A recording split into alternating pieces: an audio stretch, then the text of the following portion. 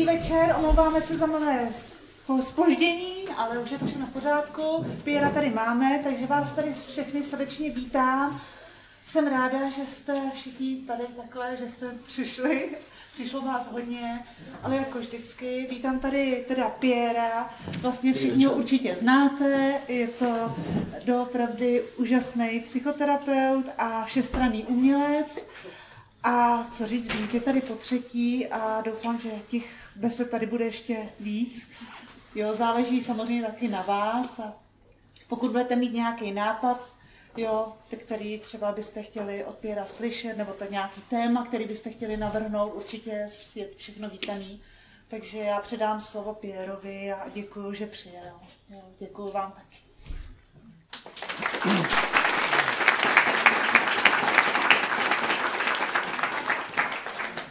Tak, dobrý večer.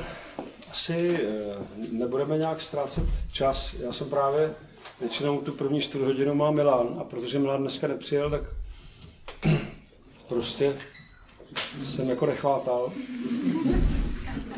To berte tak, že už Milan tady čtvrt hodiny byl a vysvětlil, co potřeboval. My jsme právě eh, mluvili o tom, jaký, jaký by mohlo být téma toho dnešního večera. A e, já jsem byl trochu překvapený, protože jsem navrhnul jako téma e, typologie, typologie a překvapila mě právě paní pořadatelka s tím, že jako okamžitě souhlasila, protože já mám dojem, že to je zrovna takový téma, který ani nevím, jestli lidi vůbec zajímá. Jako typologie, psychologická. A jsem taky překvapený, že jste teda přišli, jo. Vypadá, že vás ta typologie taky zajímá. Takže eh, já se pokusím nějakým způsobem hm, jakoby to téma vůbec eh, uchopit a aspoň trochu vám nabídnout eh, to, co já považuji za velmi zajímavý typologický model a to je model, který vlastně navrhuje ten Jung, Karel Gustav Jung. Myslím si, že je dost hluboký a dost dynamický, jo? protože u těch typologií je to tak, že jsou víceméně dvojího, dvojího charakteru. Jedna ta typologie je taková nedynamická. To znamená, že dejme tomu, když byste měli typologii opřenou třeba o krevní skupiny, někdo je A, někdo je B, někdo je 0, někdo je A, B, tak asi těžko změníte krevní skupinu. Jo, je to taková, je to složitá situace vlastně. Takže vám někdo řekne, že teda ke krevní skupině nula patří takovýhle charakter a ten prostě máte a, a s tím se vlastně nedá nic dělat. Já jsem jednou byl na takovém astrologickém kurzu a e, tam jsem zažil takovou těžkou chvíli, protože ten, ten kdo to jako učil, ten, tu astrologii, tak tam ukazoval nějaký konkrétní příklady v tom horoskopu a každému nám, jako kdo jsme tam seděli, tak dal horoskop. Když jsme měli každý svůj horoskop, tak jsme se na ně dívali. Kdo viděl někdy horoskop a neví, o co jde, tak je to podle mě podobné, jako když nějaký paní takhle otevřete kapotu třeba u, u motoru, jo. Řekne, vidíš motor takhle, no, tak to můžeš třeba... Člověk tak na to kouká, že jo. Tak zhruba takhle jsme se dívali my na ten horoskop, ale on nám to trochu začal vysvětlovat, už to hnedka začalo být jaksi srozumitelnější. A teď tam ukázal nějaký, nějakou specifickou konstelaci a řekl, tahle konstelace to je strašná. To, když někdo má, tak to je, to je katastrofa. A teď začal vysvětlovat, v čem jako je ta katastrofa. Jo. A mě nějak, nevím, proč jsem se podíval do toho svého horoskopu a ta konstelace tam byla. A teď on mluvil dál a říkal, no jo, ale tahle konstelace je teda dost šílená, ale pak je ještě jedna, ta je ještě mnohem, mnohem horší. A teď ukázal tu konstelaci a říkal, tohle toto, když někdo má, tak to se snad neměl ani radši rodit na tenhle svět. A já jsem se kouknul, říkám si, Ježiši Maria, mám to tady zas taky stejně. Jako. No a teď jsem si říkal, no ale on se možná na ty horoskopy naše předtím podíval, že jo, možná, že to je, že třeba ví, že tyhle ty konstelace mám. Posadil mě ještě do první řady, schválně asi. Protože jinak tam byly jenom ženy. No a mě to nedalo a zvedl jsem ruku a říkám, helejte se, promiňte, že vám takhle vstupuju do toho vašeho výkladu. který je teda velmi jako pozoruhodný, ale vy mluvíte o těch dvou konstelacích, které jsou dost šílený a já je náhodou zrovna mám ve svém horoskopu. E, to znamená, že s tím nemůžu nic dělat. To mě zajímalo. Jo. Že to je šílený, to celkem jsem věděl, ale znamená to, že se s tím nedá nic dělat. A on říkal, no, že se takhle ptáte, tak já vám prozradím tajemství. Čas od času se osud manifestuje. Většinou je pod Prahem. Jo? Většinou tak běží někde jako pod, tím, pod, tím, pod tou energií toho Prahu. Většinou se na něj nemůžeme konkrétně přímo sahnout. Ale bývají v životě v období, přeju každému, abych bylo co nejmíň, kdy osud se přímo před váma jako vstyčí, manifestuje se. Prostě je zjevný, zřejmý. Většina lidí v tu chvíli před tím osudem utíká, otočí se a utíkají nejdál, co to vůbec jde. A tenhle ten, ten astrolog řekl, doporučuji vám v tuto chvíli, když se ten osud před váma takhle manifestuje, chyťte ho pod krkem a držte ho pod tím krkem a ptejte se, co pro mě máš, co mi přinášíš, co je tvůj message, co je tvoje poselství. A až už eh, ten osud bude dostatečně zoufalý, tak je možný, že vám to řekne. A je možný tímto způsobem změnit i fatální situace. Jo, I fatální konstelace je možný změnit. Takže to se mi třeba líbí. Astrologie je taky určitý druh typologie. Jo, taky je, vlastně, taky je to vlastně typologie a musím říct, že ten muž mě získal pro astrologii, že kdyby to mělo být tak, že to je takhle daný, jako ta krevní skupina, tak mě tyhle typologie vlastně nezajímají. Jo, přijdou mi statický, nehybný vlastně a svým způsobem pro mě teda nezajímavý, jo, protože jestli je to tak, že se člověk nějak narodil a úplně stejně má zase umřít, tak já teda nevím, proč by tady měl být. Jo, to je můj primitivní prostě pohled na věci. Pak si myslím, že je lepší tady nebejt, jestli, jestli to je takhle. Takže já dávám přednost typologiím, které jsou dynamické. To znamená, že někdo vám vlastně řekne, ano, tvoje startovní čára je taková, tvoje konstelace, nebo tvůj charakter, nebo tvoje dispozice mají, mají tuto povahu, tuto tendenci, toto směřování a je na tobě, jestli ty vyjedeš do těch kolejí a vyjedeš je ještě hlouběji, tomu se říká karma. Člověk si vyjíždí ty koleje, v dalším životě se diví, že jo. Ještě hlouběji v těch kolejích. A ještě těžší je se z nich vlastně vymanit. A pak se tomu říká právě katastrofa. Ale je taky možný, že někdo jak si tomu nepodlehne, jo? Ne, nepodlehne tomuhle tomu, tomuhle tomu puzení a vlastně naopak, když vidí, že ho to vlastně ta kolej vleče pořád jaksi nevyhnutelně někam, takže třeba právě s tím teprve v tu chvíli něco, něco může dělat. Takže já bych vlastně, protože čas náš je omezený, já bych se tady nevěnoval jednotlivým typologiím, i když některý jsou velmi zajímavý. Jenom bych na něco upozornil. Myslím si, že jedna z nejzajímavějších vůbec typologií, které existují, je čínská typologie, která vychází z fyzických rysů. Jo, vychází z toho, zejména na hlavu a na, na obličej se soustředí, ale i na celou fyzickou konstituci. A ta je právě nesmírně zajímavá v tom, že eh, v základním, v základním rastru má asi milion znaků, který ten typolog musí umět nějak jaksi zachytit, odhadnout a uvidět. A potom si je nějak intuitivně vyhodnocuje. A právě, vlastně když jsem se o tom bavil s těma čínskými typologama, tak oni taky řekli, když se změní ta vlastnost, tak se změní ten rys. Jo, je to hezky vidět třeba na obličejích, který můžeme mít před, eh, tak se bíjejí na těch billboardech nebo obrazovkách. Je to hezký vždycky se podívat, jak ten rys některý se tam jako rozvíjí. A samozřejmě, protože to většinou jsou plíživý, plíživý proměny, tak to obvykle jako nevidíme, když toho člověka třeba vidíte minimálně několikrát za měsíc, což u některých těch lidí na těch obrazovkách bývá, tak si zkuste prostě udělat střih, kouknout se třeba, hodně se těch obličejů objevilo v roce 89, jo, na těch tribunách. A tak můžete si kouknout do roku 89, jak ten člověk tak vypadal, když přišel na tu tribunu, a jak vypadá teď. Jo, a tam potom nápadně můžete vidět některé rysy, zejména u některých lidí jsou to třeba čelisti zajímavý jako element, co musí všechno jako přehryznout vlastně, jo? do čeho se musí zahryznout a jako udržet to jako tím buldučím způsobem. A ono to potom je jako vidět. Jo, takže ta, to je třeba moc hezký na té čínské typologii, která vychází, z, jak říkám, celý ty čínský, čínský vlastně přístupy jsou velmi zajímavý v tom, že jsou hodně postavený na pozorování. Je to i, ten, i ty jejich akupunkturní a akupresurní e, přístupy jsou, nevím, jestli to všichni vědí, vždycky je velmi zajímavý k tomu koření. Ono to vznikalo proto, protože většina lékařů v Číně se nesměla svých pacientů dotýkat. Jo, dost často to bylo tak, že ten lékař byl vlastně jako níž společensky postavený než ten jeho pacient. Vůbec je geniální, Číňani to měli tak, že dokud byl pacient zdrav, tak lékař pobíral peníze. Lékař přestal pobírat peníze, když pacient onemocněl. To je...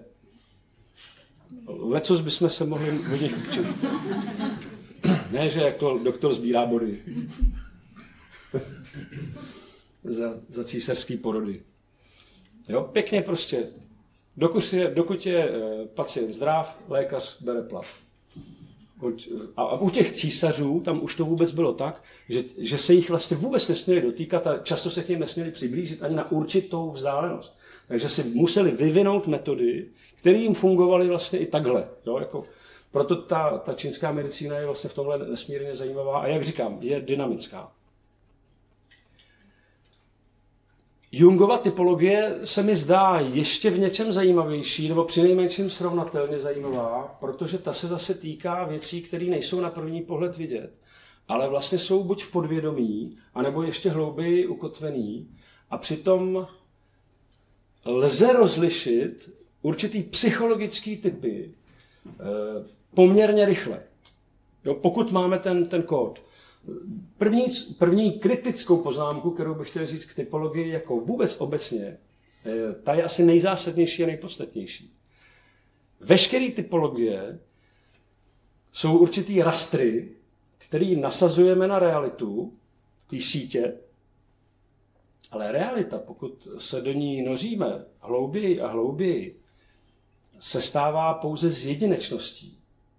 Nic typického na ní není. Není tam nic, co by se opakovalo, není tam nic, co bychom mohli s něčím srovnávat.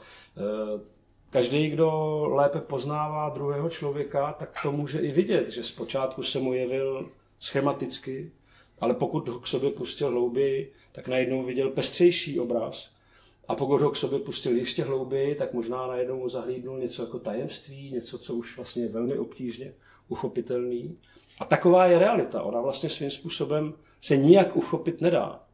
Typologie je zjednodušení, je to model. Vlastně vytváříme model, něco, co neexistuje.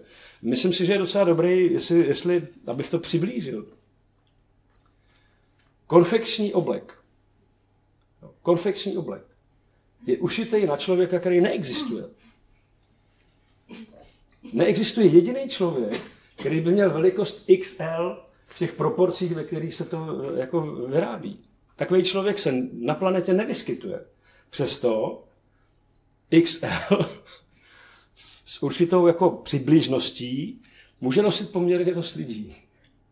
Jo? Možná, že mají trošku kratší rukávy, nebo zase delší, nebo přes břicho to trošku jako nepasuje, ale plus, minus, to vlastně funguje. Jo? To je ta typologie.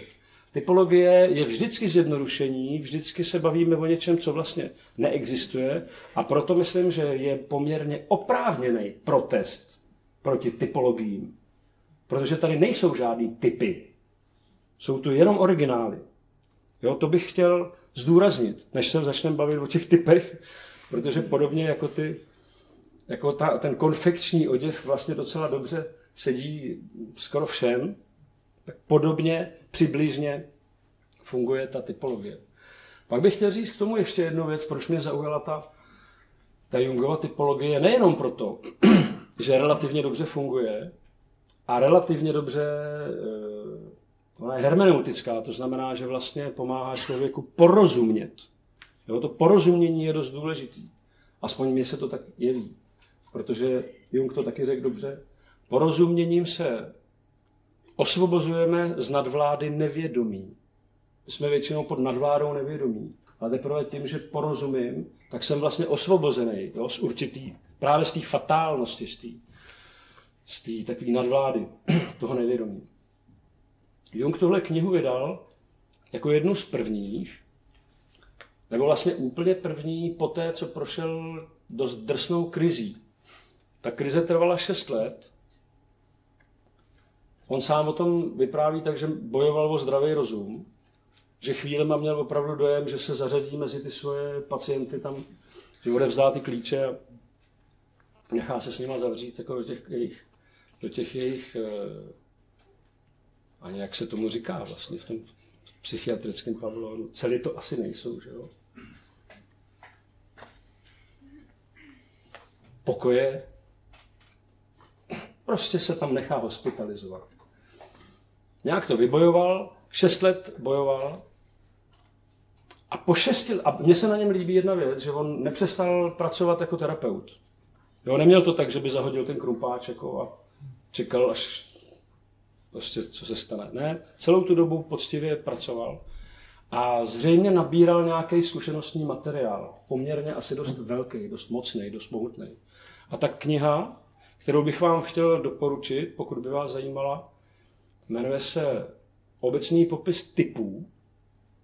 Bohužel do češtiny je vydaná jenom třetina, jenom ta praktická část. Ta část, kdy on vysvětluje historii těch typů až někam do antiky, ta snad bude přeložená taky.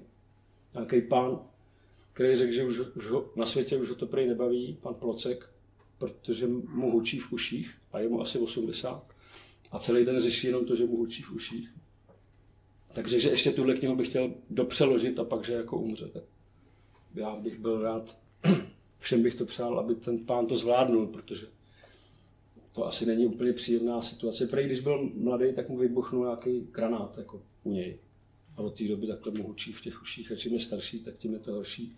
Ale řekl mi jeden jeho známý, který s ním konzultuje, že řekl, tohle ještě udělám, tohle ještě dodělám. Takže v češtině je jenom ta část, kterou já vám tady vlastně přiblížím. Ale ty souvislosti, které jsou samozřejmě v něčem nejzajímavější, to je možný číst v Němčině, v angličtině a v jiných jazycích.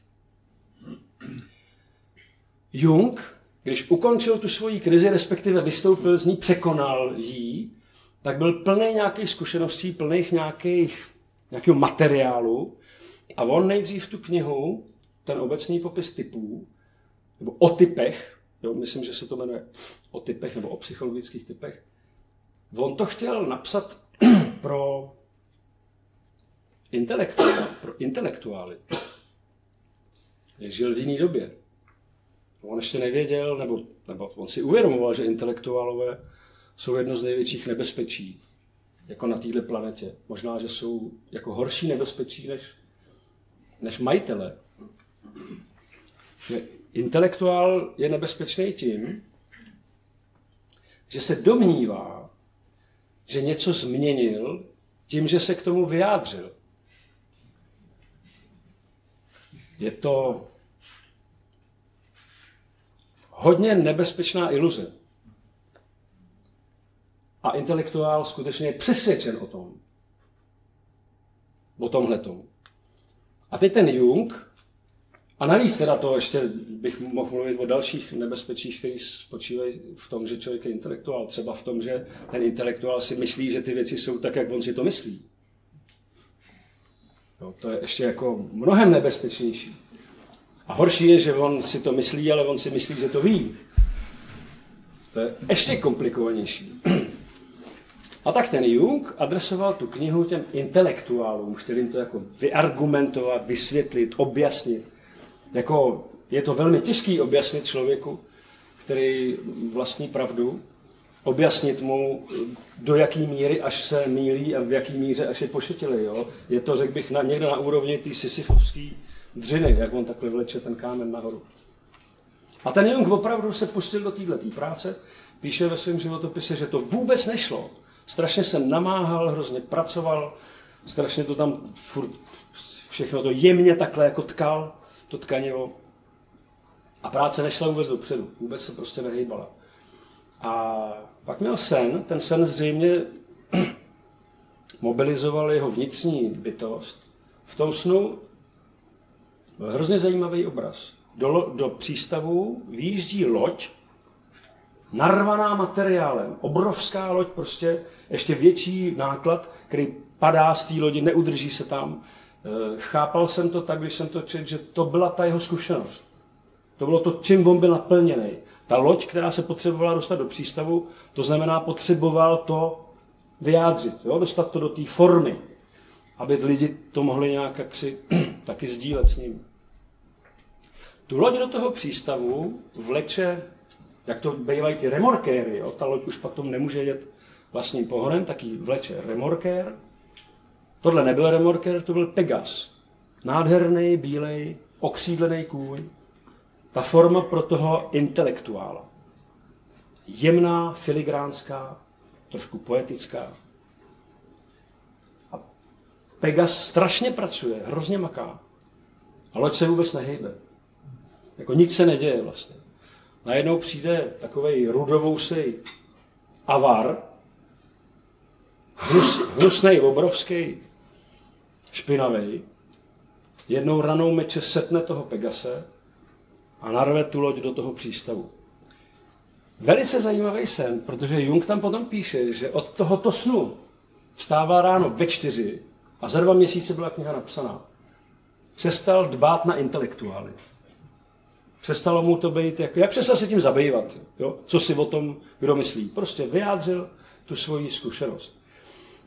Když bych teď aspoň trochu, protože já se obávám, že to nebude možné vůbec jako přiblížit v tom, v tom rozsahu, pokusím se soustředit se na ty nejhlavnější záležitosti. První, čím se Jung zabývá, je typ introverta a extroverta. Vím, že většina z vás si v tuhle chvíli řeknete jako, to znám. Já to tak často slyším, jo. přijde chlapík, sedne si ke mně do toho křesla a řekne, já jsem extrovert. Říkám, jak to myslíte, extrovert? Já jsem takový přátelský, společenský, lidi mám rád, mě mají lidi jak rádi, veselý, družný. Říkám, aha, aha, vy si teda myslíte, že introvert takový vejdle být nemůže. Pak si sedne jiný a řekne, no já jsem takový introvertní, takový uzavřený, takový, lidi mě nemají moc rádi, moc rádi se mnou nemluví, já s nimi taky nemluvím moc rád. V podstatě předsudek, a je to zajímavé, kolik předsudků, zejména v těchto oblastech, panuje. Předsudek, která říká opravdu toto. Extrovert je společenský, přátelský, světelný, jo, takový jako družný, introvert je temný, nepříjemný vlastně, člověk by se mu měl radši vyhnout, divně kouká prostě. Sedne si někde a tak to pozoruje celý a když se něco zeptáte, tak vám vůbec nic neřekne. Jenže to znamená, že, člověk je otevřený, anebo že je uzavřený. To nesouvisí vůbec s tím, jestli je introvert nebo extrovert. Uzavřený extrovert je prostě uzavřený extrovert, jo? uzavřený introvert se sice asi bude chovat trochu jinak, ale je prostě uzavřený. Ten člověk je uzavřený. A hotovo. Jo? Nejlepší jsou uzavřený extroverti, že jo? Extrovert sám o sobě je vlastně velmi uzavřený, jo? když bychom se bavili o tom typu jako takovým. Protože já jsem třeba dospěl k tomu, jsem ještě netušil nic o těch typech. Jenom jsem si všiml, že jsou určitý typy lidí, u kterých je lepší sledovat, co neříkají. Říkají toho hodně je dobře nesoustředit se na to, co říkají. Na to, co neříkají. To bývá totiž jejich sdělení. To bývá to podstatné sdělení. Ono je podstatnější než to, co říkají, že to, co říkají, bývá taková pěna. Tak to jako šumí, teče. A pak jsou ty druhý. Jo. Tam je dobrý, jako si říct. Nemluví moc, ale asi když to říká, tak asi k tomu má důvod. Jo. Protože to nemá tak, že by jako krátil zábavu, nebo že by krátil čas, nebo, nebo by nechtěl rušit zábavu, nebo by prostě zaplňoval prázdno, jako vyplňoval program. Když bychom se soustředili na to, co myslí Jung tím, eh, kdo je teda introvert, anebo je, kdo je extrovert, tak bychom museli říct, jakoby upozornit na to, že existuje něco jako ekonomie. Eh, příroda je ekonomická Duše je ekonomická. V duši probíhá něco jako prout energie. Eh, Stejně bych doporučil tady i ten proud toho vzduchu trošku jako oživit, jo, protože jinak s, s ekonomí na tom nebudeme úplně dobře. Ať jsme introverti nebo extroverti. Ekonomie eh, extrovertního ducha je opřená o to, samozřejmě v obou případech to tak je, je vždycky opřená o něco skutečného, o něco, co je pro toho člověka skutečný. Pro extroverta je skutečný něco, co bychom asi museli označit jako fakt. Objektivní fakt. E, jenom extrovert může přijít na myšlenku, že devět lidí z deseti má lepší pravdu než ten jeden. To je velice extrovertní myšlenka. Demokracie v tomhle smyslu, když se bavíme o tom, že prostě ze 100% lidí 60% něco vyjádří, tak těch 40% se podle toho má řídit. To je extrovertní představa. Protože pro extroverta, když vám bude extrovert něčím argumentovat, tak vám řekne, řekne vám nějakou kritiku, třeba manžel manželce, vyjádří kritiku a pak řekne, no ale nemyslí si, já nejsem jediný, kdo si to myslí. Taky Věra si to myslí. To je extrovertní eh, argument. Když se bavíme o tom, protože totiž to je, mě na tomhle to připadá ne, asi možná nejzajímavější a možná nejsilnější to, že předobraz těchto dvou typů najdeme samozřejmě v přírodě. Když pozorujeme přírodu, ze které jsme povstali, tak samozřejmě se od ní nemůžeme odtrhnout. A v tomhle smyslu rozhodně ne. Je to stejný u extroverta nebo introverta, jako kdyby si člověk chtěl právě vybrat. Tohle moc nejde. Člověk se narodil jako introvert, anebo se narodil jako extrovert. To je jedna z věcí, který v tomhle případě je, je nutno konstatovat ne úplně jako s radostí.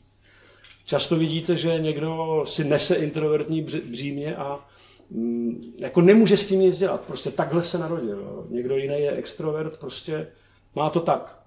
Když pozorujete malí děti, jo, už veli, velice rychle vidíte, který jsou extrovertní a který jsou introvertní. V přírodě by odpovídal těmto dvou typům. Příroda to má taky tak, že jo. Jsou stádní, stádní bytosti a jsou predátoři. Jo, jsou to, řekli bychom, odlišný typy. Jestliže stádní typ zvířete přežívá díky počtu pak pochopíme myšlenku demokracie. Jo, jenom demokrat může říct, nebo ten, kdo je jakoby extrovertně laděný. Stejně jako to zvíře eh, se nezabývá jako jim jako jednotlivcem. Eh, možná víte, že i ty, i ty kdo studují tyhle ty vědy, tak říkají, jakmile počet členů ve stádu klesne pod určitý kritický moment, tak to stádo skončilo. Jo, možná tu je ještě 30 jedinců, ale vlastně už tu nejsou, protože nemůžou přežít. Jo, jim umožňuje, mož, jako přežití jim umožňuje počet. Určitý počet. Čím víc, tím líp. Proto bych řekl, že extrovert má svůj předobraz v tom stádním typu. Vím, že to extroverti jako neslyší rádi, ale ono na tom není nic špatného. Jo? Proto říkám, že extrovert vlastně je kvantitativní. On vlastně reprezentuje kvantitativní prvek. Proto vám bude argumentovat tím počtem. Jo? Já mě vždycky někdo říkal, čet si tady ten bestseller? Já říkám, nečet. No to si přečti, ten je skvělý. Já říkám, nezlob se, jako. Mě už jenom to, že to je bestseller, mě od toho odrazuje. Jo. Já si dovedu představit, že navzdory tomu, že je něco bestseller, to může být dobrá kniha. Ale jinak si myslím, že to bude asi blbost. Proč to myslíš? No už jenom ten počet těch prodaných výtisků, je prostě pro mě podezřelý. Já si prostě myslím, že když je něco dobrýho, tak to spíš jako, tomu spíš rozumí méně lidí, než víc, jo. Já vím, že jsou jako výlučný a, a, a jako v tomhle smyslu výjimečný díla, to já chápu. Ale osobně pro mě je bestseller prostě podezřelý. A ten člověk jiný, který uvažuje jinak, jeho ekonomie je jiná, řekne, ale prodalo se 10 milionů knih, chápeš to? Já říkám, no právě, že to nechápu. Takže tohle nechápu. Jo. Protože moje ekonomie je prostě introvertní v tomhletom, v tomhletom smyslu.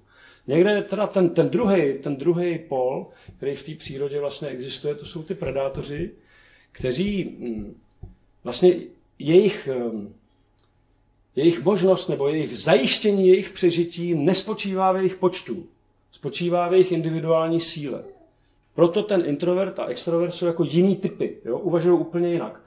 Já bych řekl, že introvert je kvalitativní, jeho ekonomie je kvalitativní, no a ekonomie toho extroverta je kvantitativní. Možná jste, kdybyste se na to podívali pod tímhle úhlem pohledu, tak byste mohli postřehnout, že několik tisíc let tady vlastně narůstala síla extrovertního prvku, a možná už někde od, od Řecka, ale je vidět, že to vždycky se mírně houpe. Ale v zásadě s takovýma výkyvama, renesance a tak, podstatě narůstal ten, ten extrovertní prvek, který se v současné době dostal ad absurdum a proto ještě, ještě Jung píše, introvertní prvek, nebo introvert, je výzvou k toleranci. Jo, on je výzvou k toleranci. Aby ty extroverti ho jako tolerovali, že vůbec někdo tady má názor. Jo? To je nepříjemná věc svým způsobem. Jak, jak se to dovolil. Navzdory obecným pravdám. On má názor. E, takže dřív to bylo spíš jako něco, kde to skřípalo, kde to, kde to skřípalo. Dneska si myslím, troufám si říct, že se to kivadlo zvolna otáčí.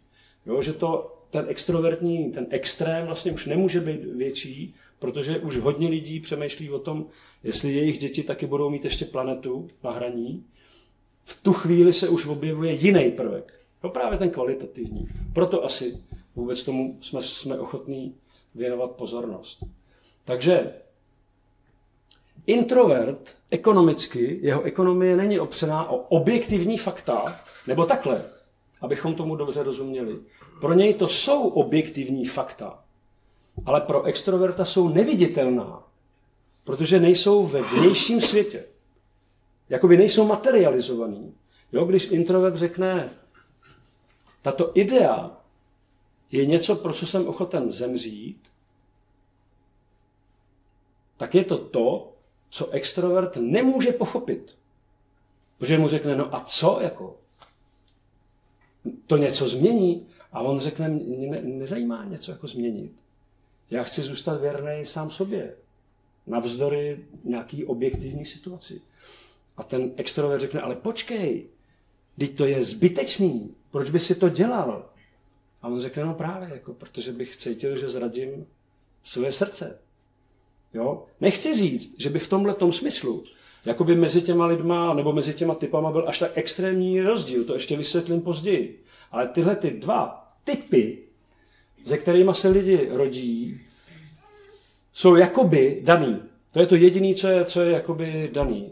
To znamená, že introvert se řídí vnitřním zákonem, vnitřním, který je pro něj svatý a pro extroverta nepochopitelný, jo, bude ho považovat za přehnaný, Eh, takový jako předpjatý, navíc i jako to si můžeš myslet, co chceš. Jo? To si můžeš myslet, co chceš. A introvert mu řekne, ne, já si nemůžu myslet, co chci. To právě nemůžu. Jo? Protože, jak říká Jung, introvert je soustředěný na archetypovou sílu a z té archetypové síly ta je pro něj stejně objektivní jako rozměr planety. Jo? Jung tomu říká subjektový prvek, subjektový prvek, kdy stejně tak jako planeta má svůj rozměr, váhu, vesmír, nějaký má nějaký vzdálenosti. Úplně stejně objektivní je ten subjektový faktor, který ale introvert vnímá mnohem intenzivněji než extrovert. Ne, že by to bylo oběma uzavřený, ten nebo onen prvek. Prostě ten jeden je pro toho jednoho z nich jaksi rozhodující. Pro jistotu řeknu ještě rovnou jednu věc, která se mi zdá na tom nejpodstatnější. Pokud je člověk zdravý, psychicky zdravý, tak obvykle dojde k nějaký rovnováze mezi extrovertním a introvertním prvkem. To znamená, já bych si tak představoval, že nejzdravější přístup by byl těch 51% a 49%. Jo? Jsem sice introvert, to znamená, že rozhodující je pro mě introvertní složka, ale extrovertní neignoruju. Takže bych to řekl takhle. Zdravý introvert vyslechne všechny a nakonec se stejně rozhodne podle sebe. Zdravý extrovert prostě se podívá do svého nitra, proskoumá všechny věci, ale nakonec se rozhodne podle situace. Nechtěl bych, eh, doufám, že teď je jako zřejmější, že eh, já se nepokouším vůbec říct, že někdo je jako lepší nebo horší. Jo? I když, jak říkám, některý lidi to nemají rádi. V podstatě i v přírodě to tak je. Jakoby tyhle ty dva eh, typy vypadají z určitého pohledu, jako že spolu vedou nějaký boj. Ale řeknou vám, přírodní lidi vám řeknou, ne, to je láska. To je hospodářství vlastně. Ten, eh, to, to stádo bez toho extroverta, bez toho, nebo bez toho introverta, bez toho predátora je v hajzlu. Jo, jako dohromady je to, dohromady to dává smysl. Jo, to, co my vidíme jako chování, který je nepřátelský, je ve skutečnosti udržování rovnováhy. A to velmi, velmi přesný a velmi inteligentní. V lidském světě se to potom komplikuje a bohužel dost často nepříjemně.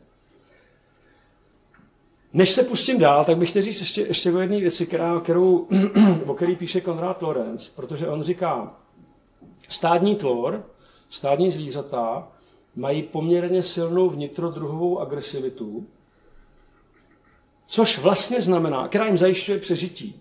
To znamená, že vlastně se, já to nemůžu tady používat úplně ty nejvulgárnější výrazy, ale eh, neustále mezi sebou mají takový jako rozpory.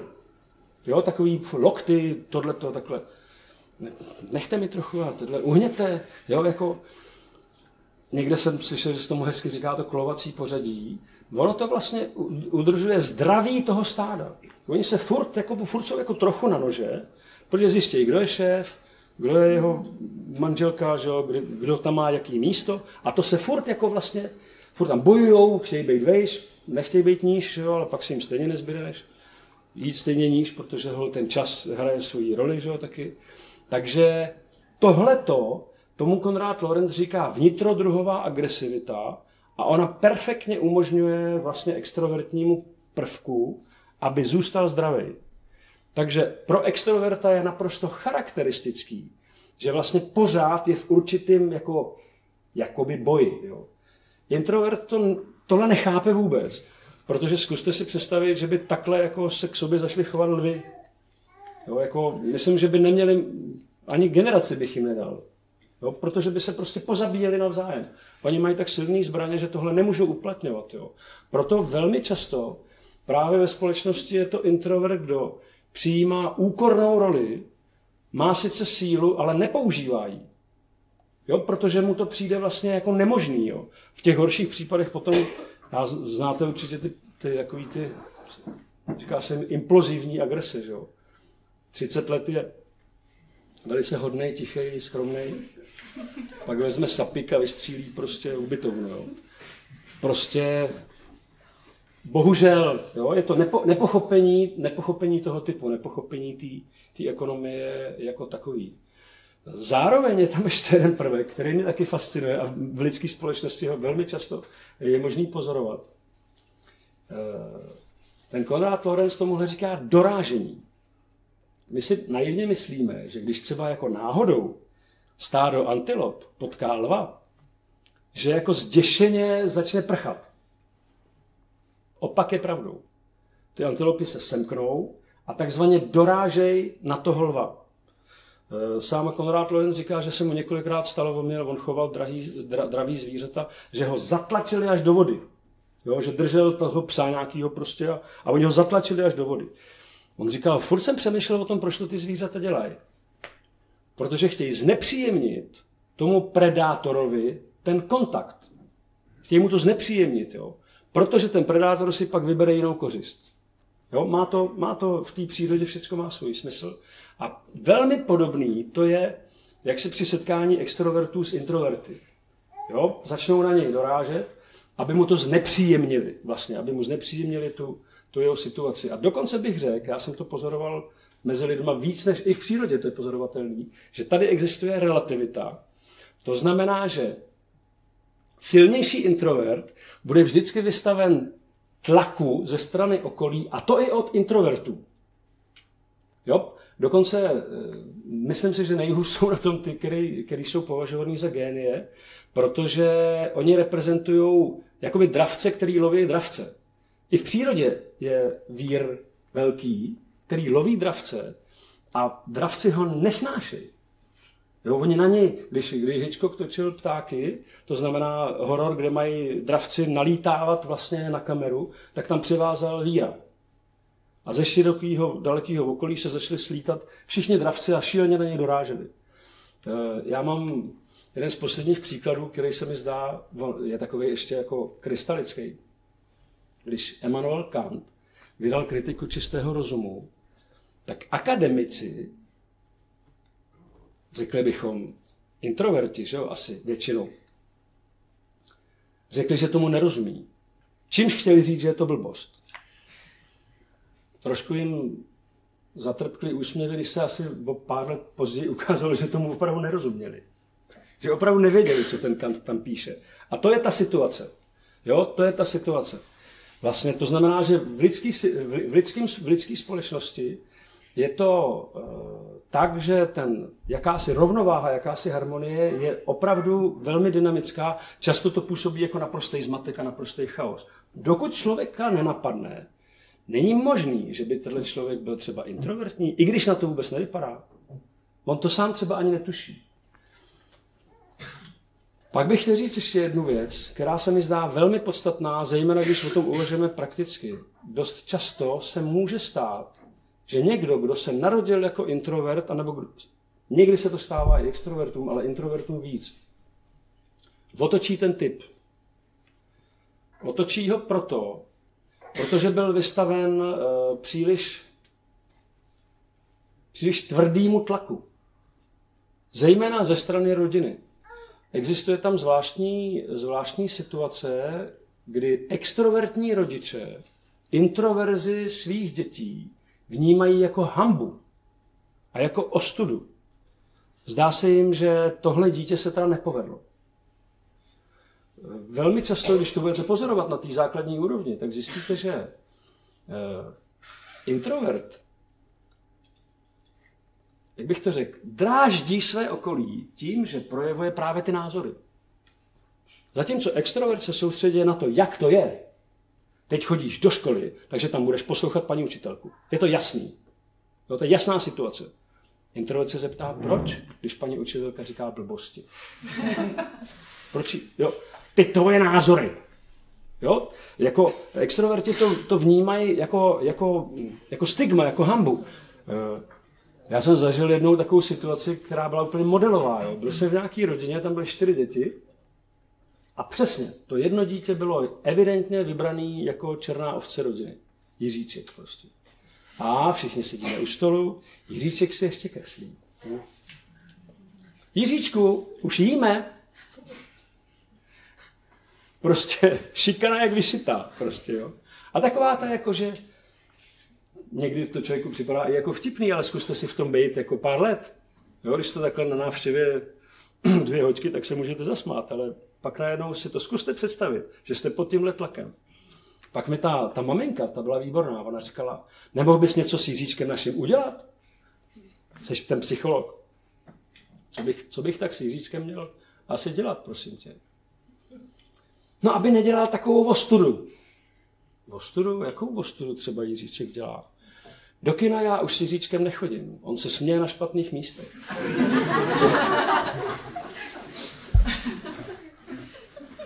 Mohla bys to trochu přiblížit? Kdy se Jiříček směje? Všichni už se zasmáli a on najednou se probudí a směje se. Ne, on se směje dřív než ostatní. To je taková, já se tak stydím. Říkám, no tak Jiříček prostě vnímá věci tak trochu ty skrytější a baví ho to ještě dřív, než ta pointa je zjevná, že jo. To prostě takhle asi bude. Že on není ani tak hloupý, jo. On je prostě introvertní, jo. Kouká na věci zevnitř, nekouká na ně úplně tak zvenku. No, no nic, to, říkám to jenom jako příklad, nevím, jak je to s Jiříčkem dneska. Ale rozhodně v mnoha případech eh, tohoto typu, jo, který jsem se tady pokusil přiblížit, ten introvert se takzvaně extrovertuje. To znamená, že se začne chovat, jako by byl extrovert. může to řešit jeho situaci. Jo? Do určitý, do určitý míry. Problém je samozřejmě v tom, že ta situace potom ve výsledku vypadá tak, že člověk nežije jenom ve své rodině, nakonec musí žít i jako v širším světě.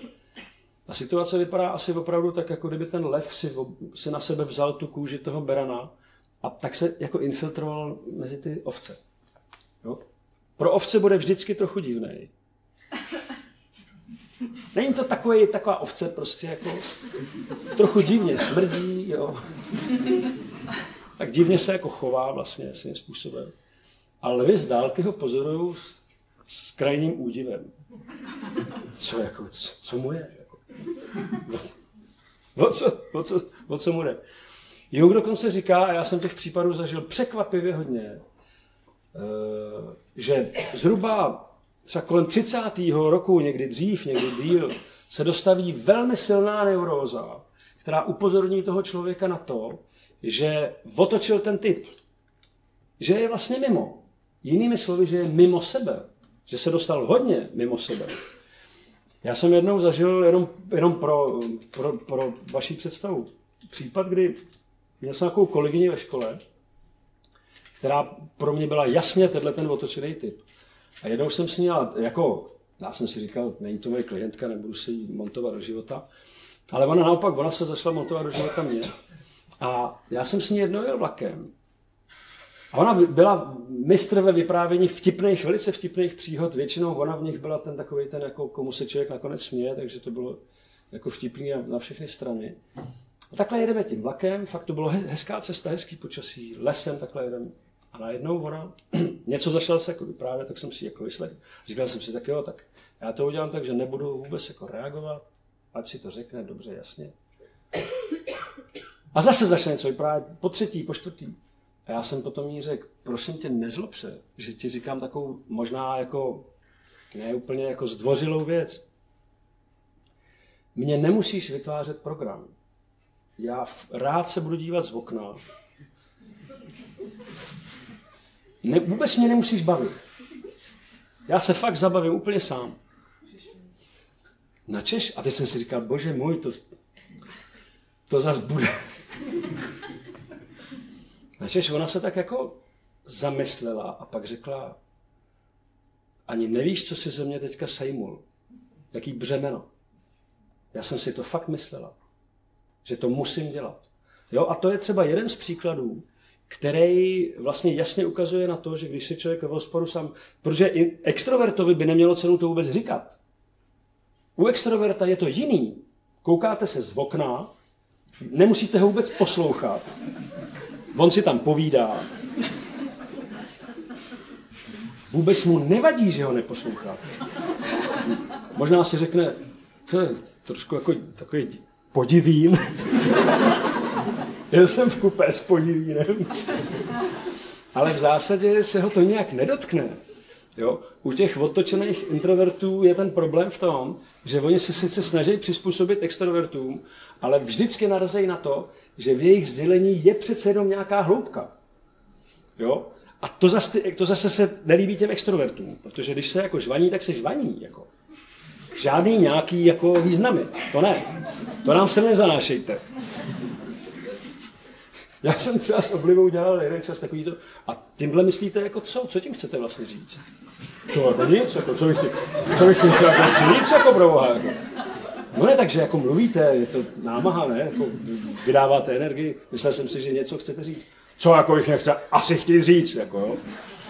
Takže e, proto bych chtěl jenom zdůraznit, že je dobrý někdy si udělat určitou vnitřní inventuru, a možná se fakt jako zamyslet nad tím, jestli jsem jaksi tou, tou daností skutečně spíše tím, tím introvertním člověkem a nebo tím extrovertním. To znamená, že jestli, že jestli je pro mě dobře řídit se podle sebe, a nebo jestli je pro mě dobře řídit se podle okolností.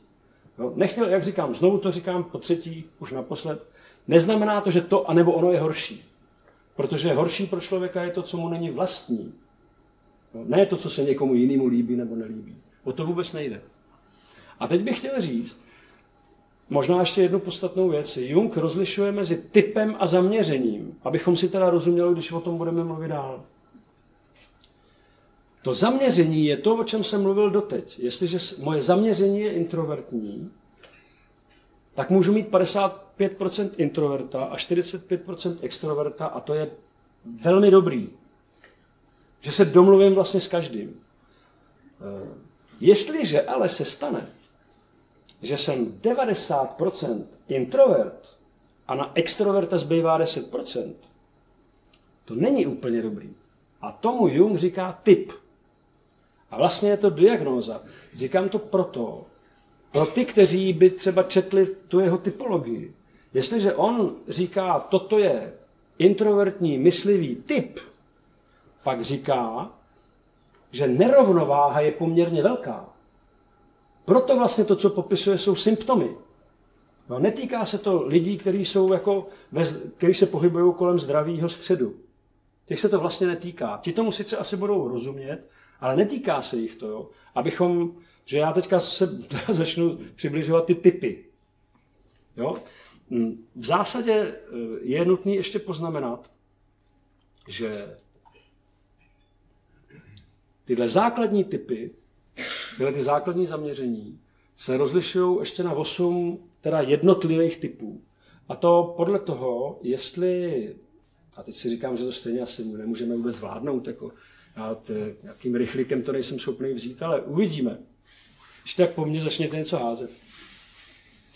Uh, jsou vlastně čtyři základní funkce, které člověk používá, aby se přizpůsobil realitě. Je to myšlení, je to cítění, je to vnímání a je to intuice. Takže bychom mohli říct, že existují, těch osm typů je proto, protože extrovertní myšlení je něco úplně jiného než, extrovert, než introvertní myšlení. Jo, myslím si, že teď už po, po tom úvodu si to asi trošku dovedeme představit. Jo, proto introvertní citový typ je něco úplně jiného než extrovertní citový typ. Jo, a tak dále. Proto těch typů je vlastně osm.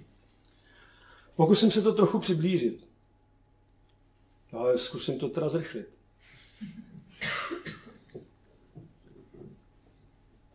Ještě pořád jeden z nejčastějších typů, protože extrovertů je víc a jsou víc vidět.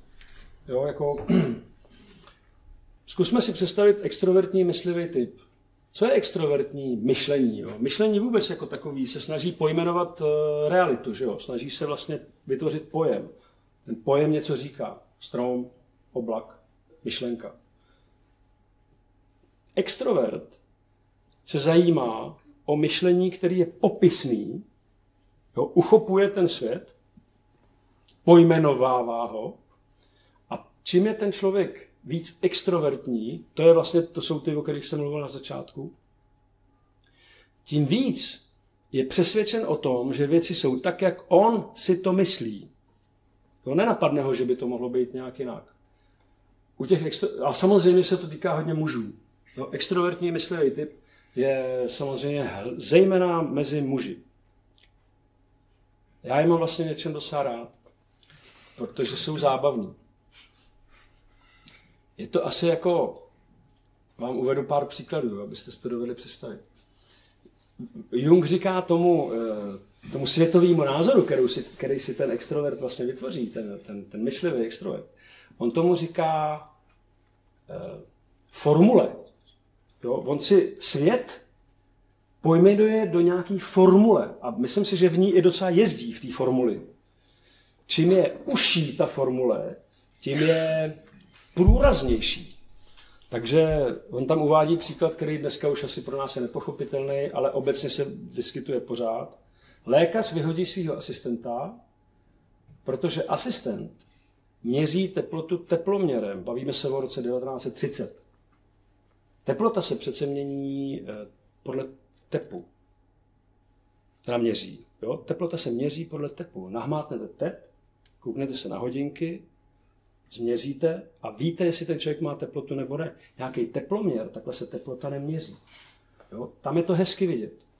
Ti lidé jsou přesvědčeni o tom, že svět je takový, jak oni ho vidí, jak si ho pojmenovali, a protože jsou extrovertní, tohle by samo o sobě ještě nevadilo. Ale protože jsou extrovertní, tak jsou přesvědčeni o tom, a tam už ten typ asi poznáte, Ostatní by se podle toho měli ve svém vlastním zájmu řídit. To je psychologický problém. Protože to, že já si tohle myslím, jako jak se změří teplota, to je moje věc. Jo. Ale jestliže někdo jiný to tak nedělá, tak to je špatně. To je špatně. A měl by to tak dělat. A já udělám všechno pro to, aby to tak dělal, zejména když je to moje manželka, nebo když jsou to moje děti. Oni to sice nechápou, ale pro jejich dobro. Pro jejich dobro to udělám. Jung má geniální formulaci. On říká, pokud něco souhlasí s formulí tohoto muže, pak je to pravda. Pokud s ní něco nesouhlasí, pak to není pravda. Pokud bychom snad našli něco jako ambivalentního, pak je to náhoda. Nepochopitelná věc. Potom se nebudeme bavit. To je nějaký nesmysl. Eh, potíž u těchto těch lidí spočívá hlavně v tom, že eh, určitý nároky, které kladou na svoje okolí, ani zdaleka ne, nekladou na sebe. Takže například, když jeho manželka je jako zdravotně v hajzlu, tak je to simulantka. Jo, když je nemocný on, je to objektivní fakt. Já jsem si tu nemoc nevymyslel. Ty jo. Ty jsi si vymyslel, já ne. Prostě. Takže možná by stálo za to ještě říct, že vždycky každý ten typ, teď se bavíme o tom, že to je ta superiorní funkce, to znamená ta, která je nejvíc vlastně vyvinutá a pochopitelně, že tak, jako se do opozice staví vůči tomuto muži jeho rodina, stejně tak se vůči němu bude stavět jeho duše. Čím bude víc vyhrocený v tomto směru, tím víc bude podléhat pochybnostem, který se ho budou zmocňovat a bude jim zřejmě čelit fanatismem.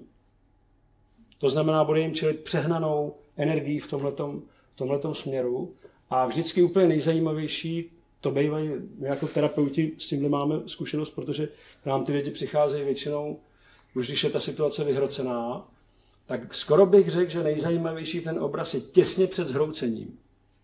Jo, tam by se dalo říct, že ten muž už je přesvědčený o tom, že konečně to doma u něj všichni pochopili. Jo, to je krátce předtím, než mu žena položí na stůl rozvodový papíry. Už jako, už to vypadalo. Už to vypadalo, že je všecko zvládnutý a vidíš, že, že, že je to nepochopitelný. Samozřejmě to, čemu takovýhle člověk nejvíc propadá, jsou citový resentimenty, protože cit stojí proti myšlení a v tomto případě je vlastně eh, v přímé opozici. Jo, proto bych řekl, že třeba, eh, jako, když se na to podíváme z globálního hlediska, Amerika je velice zajímavý obraz eh, tohohle toho typu, jo, myslivýho, že samozřejmě všude je nepřítel. Jo, my bojujeme za demokracii. Když se na to podíváte velmi jednoduše, jo, bojujeme za demokracii, takhle se tomu aspoň říká, ve skutečnosti to vypadá úplně jinak, jako v té praxi, ale bojuje se furt za tu demokracii. Takže všude je nepřítel, všude číhá, všude číhá nepřítel, ale když můžu, tak se rozpláču. Jo? Když můžu, tak prostě jako se dojmu, protože je to fakt hrozný. Hrozný. Ten svět jako. Pořád ještě není demokracie všude. A ropa? Proč mají ropu zrovna ty, co nemají demokracii? Je tohle možné, jo? A takhle si to nemůžeme říct, to jako ne, zrovna tam mají tu ropu, jo, jako, ale ta nás nezajímá, ne, nás zajímá ta demokracie. Jo, takže to je ten problém, jo, že člověk začne vlastně obelhávat sám sebe cito, a, a ta jeho citová stránka, což je na tom vlastně nápadný, bývá skutečně dětská. A občas se projeví. Jo, občas se projeví. My jsme, viděli, my jsme měli kolegu v práci, který přesně odpovídal tomuhle typu který brutálním způsobem tam vlastně eh, masakroval nějaký zvířata. Bavilo ho třeba, tam byl kocour, on ho dal na plovák, který se takhle potápěl vždycky pro, pro vodu a celou noc ho bavilo sledovat, jak ten kocour tam bojuje o život. Jo. Načež přišel ráno na snídani a rozplakal se, protože nenakrmili rybičky. Jo. To je přesně ten, jo, to je, tam je to úplně přesný, jo, jako naprosto přesně vidí to, to jak jakoby ten resentiment v podstatě ovládá toho člověka. Jo? Ačkoliv on je přesvědčený o tom, že, že prosazuje svoji, svoji formuli. myslím si, že obraz mača a obraz patriarchátu je, je tomu velmi blízko. Jo, v tomhle smyslu. Odpovídá mu samozřejmě citový extrovertní typ, který většinou bývá žena, většinou, eh, jo a ještě bych možná chtěl říct jednu věc, která samozřejmě je těžko jako pro lidi stravitelná, ještě i dneska, ve třetím tisíciletí. Cítění a myšlení jsou naprosto rovnocené funkce, co se týká rozumu, co se týká používání rozumu. Bohužel dneska už to přijali i ženy, nebo asi vlivem toho dlouholetého patriarchátu. Vlastně eh, často, že to říkají muži, moje žena je úplně blbá, jo, jako vůbec nechápe základní věci. Říká mi, že něco jako cítí. Já to, já to takhle cítím, mi říká. A říkám, prosím tě, bav se se mnou normálně, jako. Máme to vyargumentuj, ne? No, já to ale cítím takhle. Takhle ona se se mnou chce bavit, nějaká dojmologie, jo? co to jako je. Bohužel někdy tohle to přijmou i ženy, jo? Že, že vlastně přijmou to, že to není rovnocení tomu myšlení. Je to nesmysl, protože cítění je stejně racionální jako myšlení, akorát, že myšlení vytváří pojem, takže je možný se jako bavit v pojmech, zatímco cítění zhodnocuje situaci. Jo, cítění vám řekne, jakou ta situace má hodnotu. Jako co ona vlastně znamená. To vám nemůže říct myšlení.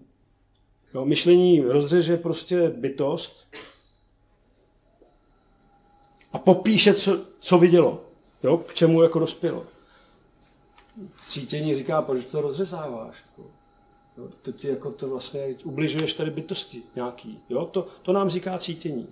A navíc, jak říkám, cit a pocit je, zhodnocuje situaci a je stejně rozumový, stejně, stejně racionální jako to, jako to myšlení. Hned to uvidíme na příkladu. Žena si vybírá svého partnera, pokud je extrovertní, jo, pokud je extrovertní citový typ, vybírá si svého partnera na základě zcela racionální úvahy, to znamená na základě zhodnocení celé té situace, jeho perspektivy, jeho povahy, jeho možností a tak dále. Jo. Navíc asi víte, že žena si vybírá muže v podstatě jako polotovar. Pro ní muž není nikdy hotový. Je to potenciální faktor, takže jako zvlášť jako extrovertní žena, jo, prostě si říká, jo, tam jsou ty možnosti, jako, při dobrým vedení. mohl lecos dosáhnout, lecos by mohl dokázat. Takže tohle to všechno ta žena citově jak si zhodnotí, všechno to vyhodnotí a potom se teda rozhodne. Jo, je to její racionální rozhodnutí na, na, tomhletom, na, tom, na této bázi, na tomhletom základu. Samozřejmě, že stejně jako u toho extrovertního myslivého typu, eh, ten sentiment je to, co limituje toho muže. Je to to, co ve skutečnosti ho limituje. Ve skutečnosti je to vlastně malý dítě. Jo, citově, citově za to. U ženy je zase ten problém, že sice citově perfektně zvládá situaci, ale myšlenkově moc ne. Myšlenkově to moc jako, jo, to myšlení jde jako, jako jak bych to řekl, taková vlečka zatím, jo, takový prostě inferiorní vlastně setrvačnost. Taková neúplně jako zpracovaná věc. Což se ukáže právě, že to manželství tak bývá, že jo? Že člověk sice zpracoval takovou část nějakou toho svého projektu, ale pak je tam druhá velká část, která, myslím, tvoří to, co se opravdu potom v tom manželství děje. Ten muž se nedá tak snadno zpracovat, nebo když už ho zpracovala, tak zase ji nezajímá. Už to zase není muž, doplněk ke kabelce.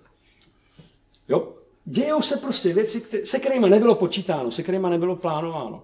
A mě u, u já bych to řekl takhle, Extrovertním myslivým typům vděčíme za to, že žijeme v tom světě, ve kterém žijeme, takhle perfektně jako technologicky vybaveným. A nejenom jim, ale hlavně jim. Jako.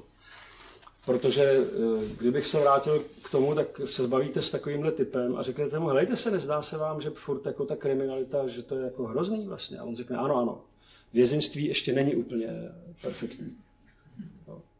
A když mu třeba řeknete, a nezdá se vám, že problém by mohl být právě v tom vězeňství, jako, že se ty lidi zavírají do těch... No, eh, to jako by, byste nechal běhat. Jo, on ví, že jsou tu problémy, ale vymýšlí opatření. Jo? To, to je to. Proto ten svět vypadá tak, jak vypadá. Zatímco to, že ten svět aspoň trochu lidský, za to vděčíme tomu citu. Za to vděčíme těm ženám, jo, který do něj vnášejí tady ten prvek.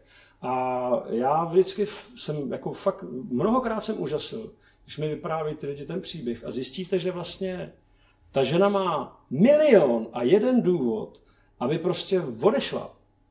Ale neudělá to. Neudělá to právě proto, že ten citý to nedovolí. Jo? Když, si, když byste chtěli ještě jednodušší příklad, tak je to stejný, jako že to extrovertní myšlení vymyslí, že dobrý bude hodit bombu atomovou nejlíp na nějaké město, že to vyřeší ten problém s těma Japoncema. A pak by zapomněl se zeptat žen, že jo? Myslím, že ženy by jim k tomu řekly trochu něco jiného. Jako, asi by jim upozornili na to, že jsou tam taky děti a star, starý lidi a nemocní a, a na ty všechny budete házet tu bombu, jako takhle en bloc. Eh, takže to zličťující, to zličťující, za to myslím vděčíme zejména extrovertnímu citu. Ale obé, oba tyhle, ty, oba tyhle ty eh, prvky, a to extrovertní myšlení anebo cítění, mají jeden velký problém. Extrovertní myšlení začne kornatět a začne se drolit vlastně a začne teda místo toho, aby dospěli k tomu, ano, je to asi pravda, to vězeňství asi je fakt nějaký nesmysl. Jako, pojďme na to jít trochu jinudy, jo? pojďme to zkusit nějak, nějak, nějak, třeba zlepšit komunikaci, nebo co já vím. Nebo fakt těm lidem umožnit, aby trochu mohli žít a nedržet je furt pod krkem, jo? Jako nedávat jim tolik vzduchu, aby tam měli na přežití. Stejně tak u extrovertního cítění uvedu příklad, který by vám mohl být srozumitelný. Já osobně mám nejradši u extrovertního cítění ženy tak zhruba do třicítky. A vysvětlím proč. Protože extrovertní cítění je to, co osvěžuje atmosféru. Dokud se to nestane příliš konvenčním, abychom si dobře rozuměli. U těch mladých žen, který ještě nejsou příliš konvenční v tom svým citovém projevu, máte dojem opravdu jako větší, svě... úplně nejlepší je to u dětí. Jo, a u, u, u prostě nějakých adolescentů. Tam to vidíte jako zjevně. Postupem času se ale to cítění stává taky konvenčním. Jo. On to je někdy dost velký průšvih, který zpočátku ani nezaznamenáme. Protože jestliže jdu na návštěvu, já jsem to někdy pozoroval u některých žen, ona prostě je vlastně nepříjemná, je naštvaná, eh, napálí vám lecos prostě, protože může, že jo, když jste její. Ale na návštěvu se to nenosí. Tím se skončí u dveří. Ještě jako pět minut před, před tou návštěvou by si neopřeli kolo od toho manžela, pak se ale jako vejde dovnitř. Je, vy máte krásný obrazy. Teda a Úžasně jste si to tady udělali, fakt. Moc hezký, moc hezký. Není to hraný, to chci říct. Tohle není hraný. Ta žena pouze jednu konvenci vymění za druhou. Jo, v tom je to, v tom je to totiž obtížný a samozřejmě, že ještě mnohem obtížnější je to ve chvíli, kdy, kdy jste u toho účastný a říkáte si, to je teda fakt zajímavý. Nakonec si uděláte vlastní úsudek, že jo? ta žena, a co to teda znamená? Znamená to, že, že se trošku jako citově diferencujete. Jo, nejste tolik jako vlastně závislí na těch citech, který, kterýma jste takhle jako si cený. Jsou trošku jako nevyspytatelný. Děti jsou na tohle výborný. Jo. Mami. E, protože samozřejmě pak se z té návštěvy odchází a ta stejná žena řekne strašný obrazy. To je to, co vás nutí udělat si vlastní úsudek. Jo? Protože si říkáte, tak, a proč jsem teda říkal, že jsou krásní? No přece jim nebudu říkat, že jsou hrozní. Nechci dotknout. Jo, jako, je to taková záhada. Je to taková záhada. Eh, jestliže se týhle ženě stane, a dě, děje se jí to často, že čím je konvenčnější ten citový projev, tím se dostává do stejné izolace jako ten fanatik, jo? který prostě vnucuje těm lidem ty svoje, ty svoje pravdy. E, děti se od ní odtahují. E, dost často se jí stane, a je to škoda, jo? Kdyby, kdyby se trošku zamyslela, nebo kdyby trošku byla víc v reálu, tak by to mohla jako vyřešit. Místo toho, aby nechala ty děti jako jejímu, jejich světu a stahla se z toho prostoru, tak zesílí citový projev. Ještě ho zesílí. Takže oni utečou ještě dál. A ono ho zase zesílí. A oni zase utečou. Já nevím, proč mě ne, proč nechtějí se mnou být. Oni za mnou už ani nejezdí. Jo? A rodič, ty děti řeknou, hele, necpi nám tolik jako toho jídla, nechceš s náma radši jako posedět a jako v klidu se pobavit. Jako. Jo, jako, to je ten problém. Jo? Je to, to je ten problém toho, těchto těch extrovertních, extrovertních jaksi prvků. Možná Teď se pokusím ještě, ještě vám přiblížit, protože tyhle ty druhý typy, tady to jako vlastně většinou si myslíme, že víme, o co jde. Jo. A ty další typy, ty, které se cítějí vnímáním, anebo in, řídějí vnímáním, anebo intuicí, já se přiznám, že to většinou ani neumím poznat. Většinou toho člověka musím znát díl, nebo vůbec musím, musí nastat situace, ve které se vůbec ukáže, že ten člověk to má takhle nebo onakhle. Protože většinou člověk má tendenci svoji psychologii přisuzovat těm druhým, že jo? Jak poznáte, že, se, že někdo se řídí vnímáním? Jak poznáte, že se řídí intuicí? Jak to chcete poznat? Je to hrozně těžký. Eh, zajímavý na tom je podle mě jedna věc. Racionální typy lidí, tak jak jsem je tady popsal, často působí velmi bláznivě. Čím je vyhrocenější jejich racionalita, tím jsou bláznivější. Nejbláznivější je přesně ta žena, která si vezme úplnýho e, trotla a je s ním 45 let. Jo. Psychologicky je to nejlepší, co může udělat. Že stejně si vybere jinýho trotla. Jo. Když vydrží 45 tady s tím, tak se lecos naučí. Hodně se pročistí jako bytost. Ale rozumného na tom není nic. Rozumného na tom není vůbec nic. Eh, stejně tak ten profesor, že který jako si namaluje ten život do té své tabulky, naplánuje si ho celý. Co je na tom rozumného? Jo, při rozumném pohledu tyhle lidi právě naopak působí docela bláznivě. Eh, naopak, když se někdo řídí vnímáním, tak skoro vůbec neumí myslet. Cítění u něj taky není, kdo ví, jak rozvinutý. Intuice už vůbec ne. Ale rozvinutý perfektně je vnímání. Přesto vám můžu říct, že takovýhle lidi budete považovat za velmi rozumný. Proč? Protože v tuhle chvíli třeba řeknou, není tu vzduch. Jo? To je nejrozumnější, co se dá říct. Ale rozumného na tom není nic. To vám říká vnímání. To je jenom zkušenost. Jo? Jako lidi, který, který vnímají, který jsou zaměření na vnímání ve společnosti, já, já bych řekl možná jednu věc. Oni jsou věcní. To je to, čím jsou vlastně přínosní pro tu, pro tu společnost. Když bude, když bude schůze, tak racionálové na této schůzi si budou vyžívat svoje antipatie a sympatie. Alergie a teď a vy budete poslouchat budete si říkat, je, my jsme se tady sešli proto, aby jsme jako vymysleli společně další rok, třeba program na ten další rok. A teď se tady bavíme o tom, jestli někdo jako půjčil někomu auto. Já tomu nechápu. Jako. Řekne ten vnímavý. Jo? A všichni řeknou, no to je pravda. Jsme se přece nesešli proto, aby jsme se hádali kvůli autu, že jo? Ale kvůli tomu, aby jsme vymysleli ten program. Takže vnímavý člověk, vním, extrovertně vnímavý člověk, je jakoby vnímá velmi dobře povrchy v jistém smyslu a je v nich doma. Nezaskočí ho, protože eh, když někdo vám řekne, že přijde ve čtyři a místo toho přijde v šest, racionál je z toho hotový. Jak to asi nepřišel jako ve čtyři. Vnímavý člověk, nebo vnímající, toho se to vůbec jako netkne. Ten mezi tím si dělal svoje věci. Jo, aha, ty jsi přišel, jo, to, to je dobrý, hlavně jsi tady. No. Takhle, takhle to funguje.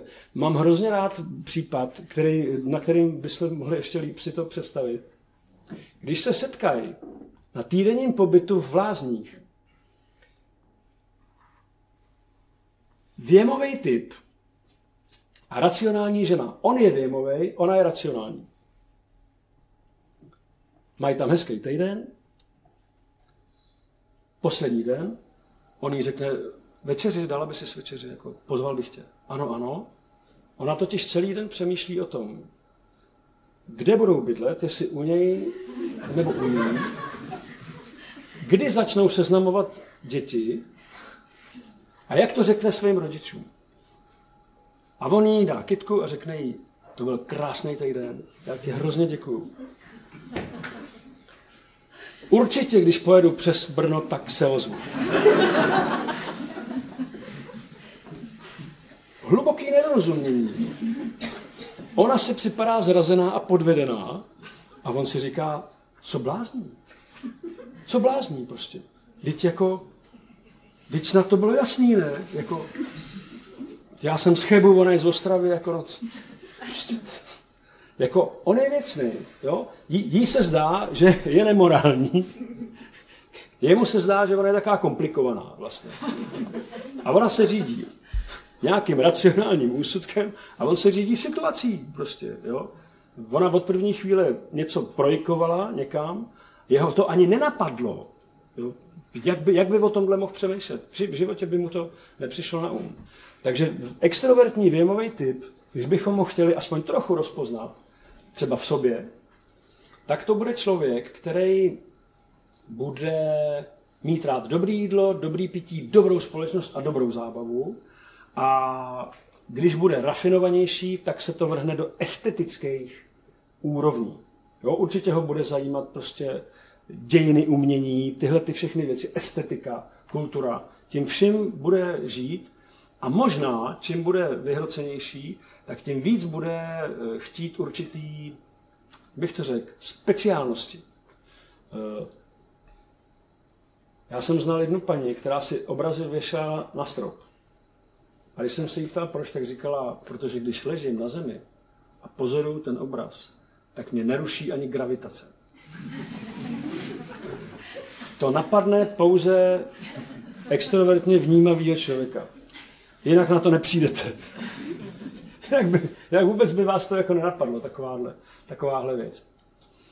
Uh, extrovertní intuitiv, a to je, možná budete překvapený, já se osobně domnívám, že to je u nás nejrozšířenější typ, myslím, v Evropě. Je bytost, která je podstatou zaměřená na možnosti, které skýtají určitý potenciální situace. To znamená, že extrovertní intuitiv, když se podívá na kopec, tak není ani tak nadšený z toho, jak ten kopec je pěkný, ale kouká, jako, jaký by tam mohly být asi nerosty.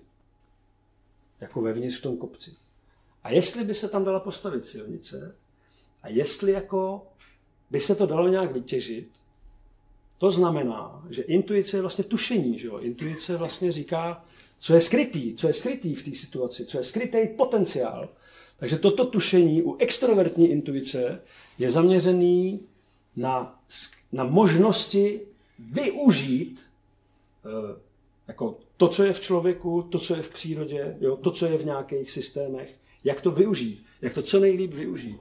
Myslím si, že klasický extrovertní intuitiv je prospektor. Jo, je to prospektor, který prostě přijde a řekne, hm, tady jako, tady to využíváte tak na půl. Já bych vám řekl prostě, jak by se to dalo využít. Jo.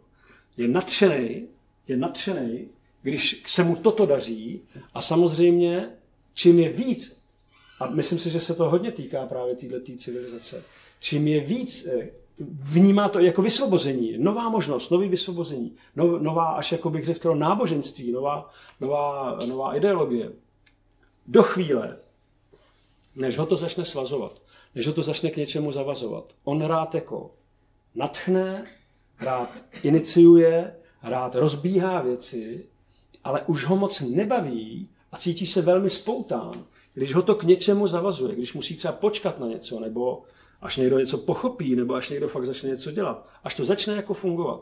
Takže Jung říká, a má asi pravdu, že extrovertní intuitiv nalézá nové možnosti, vybízí druhé k novým možnostem, iniciuje, ale možná ještě sází, ale nesklízí.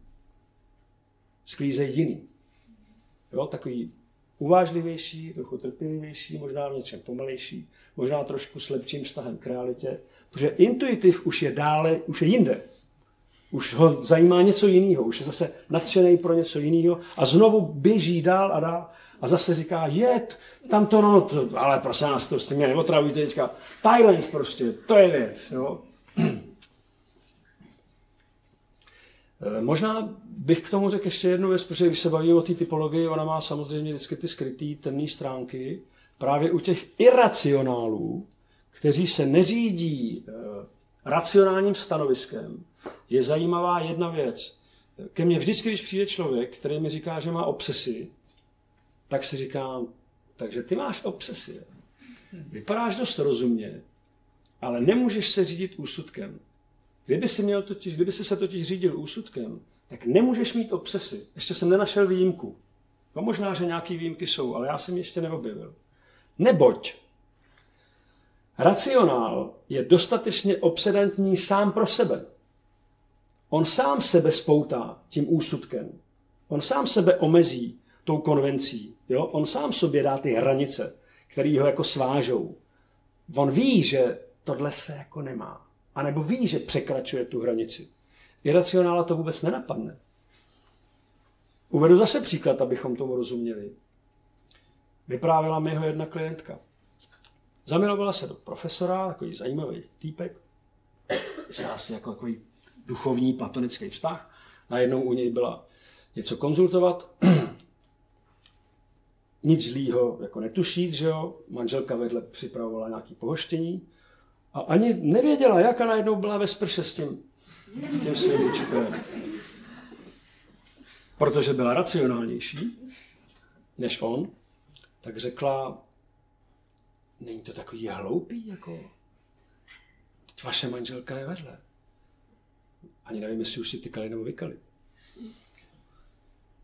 Bohužel ona je taková trošku úzkoprsá. Jako kdyby nebyla tak úzkoprsá, mohli jsme si to užít všichni společně. To může říct jenom iracionál. Jo? To může říct člověk, který se řídí vnímáním, tou konkrétní momentální situací. Prostě, jo? A ten se nebude poutat nějakým úsudkem. Jo? On nebude ho svazovat nějaká, jako, jak říkám, něco by se mělo, by se nemělo, by se. To považuje za velmi jako přesně jak to řekl, za velmi úzkoprsý, za velmi hnidopišský. Zajímavý právě na tom je, a upozornil na to Jung, že právě proto, že se ten, že se ten intuitiv ani ten věmový typ vlastně neumí pořádně spoutat sám sebe, jak spoutat, omezit, jo? jako vytvořit si nějaký druh, nějaký druh hranice, proto se musí dostavit ta obsese. Jo? Jako zevnitř pomoc té duše, která toho člověka právě spoutá. Vřele doporučuju, já nevím, jestli ty filmy znáte, ale co se týče extrovertního vnímání, nevím, jak se to podařilo tomu Polanskému, ale natočil dokonalý obraz, který se jmenuje Hořký měsíc. Skoro, jestli znáte ten film, moc ho doporučuju, protože tam potom vidíte, když se potkají dva extrovertně věmový typy, oni pak už vlastně chudáci nemůžou nic než jenom stupňovat pak do nějakých perverzí a já nevím, do nějakých šíleností. Jako protože oni už ne, nemů, nemůžou jako nic jiného v podstatě. Jo? Úsudek by jim, tam, tam je to v obráceně, že jo? tam to končí nějakou katastrofou.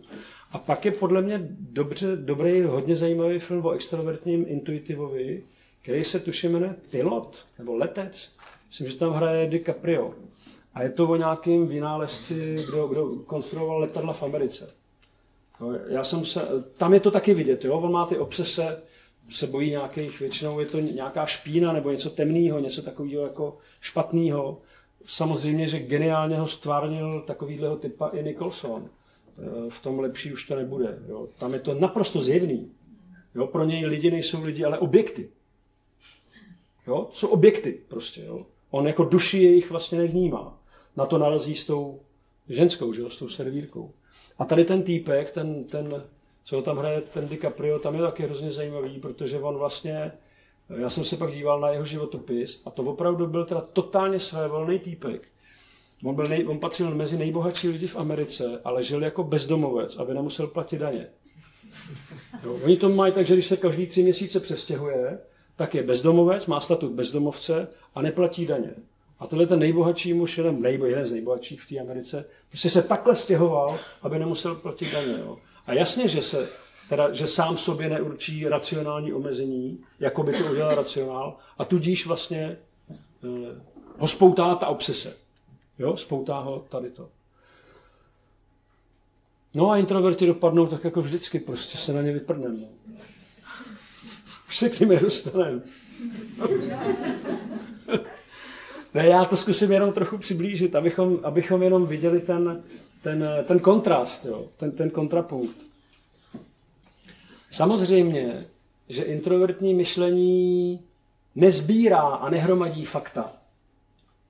Jo? Nevytváří ty věci, o kterých jsme mluvili o extrovertním e, myslivým typu.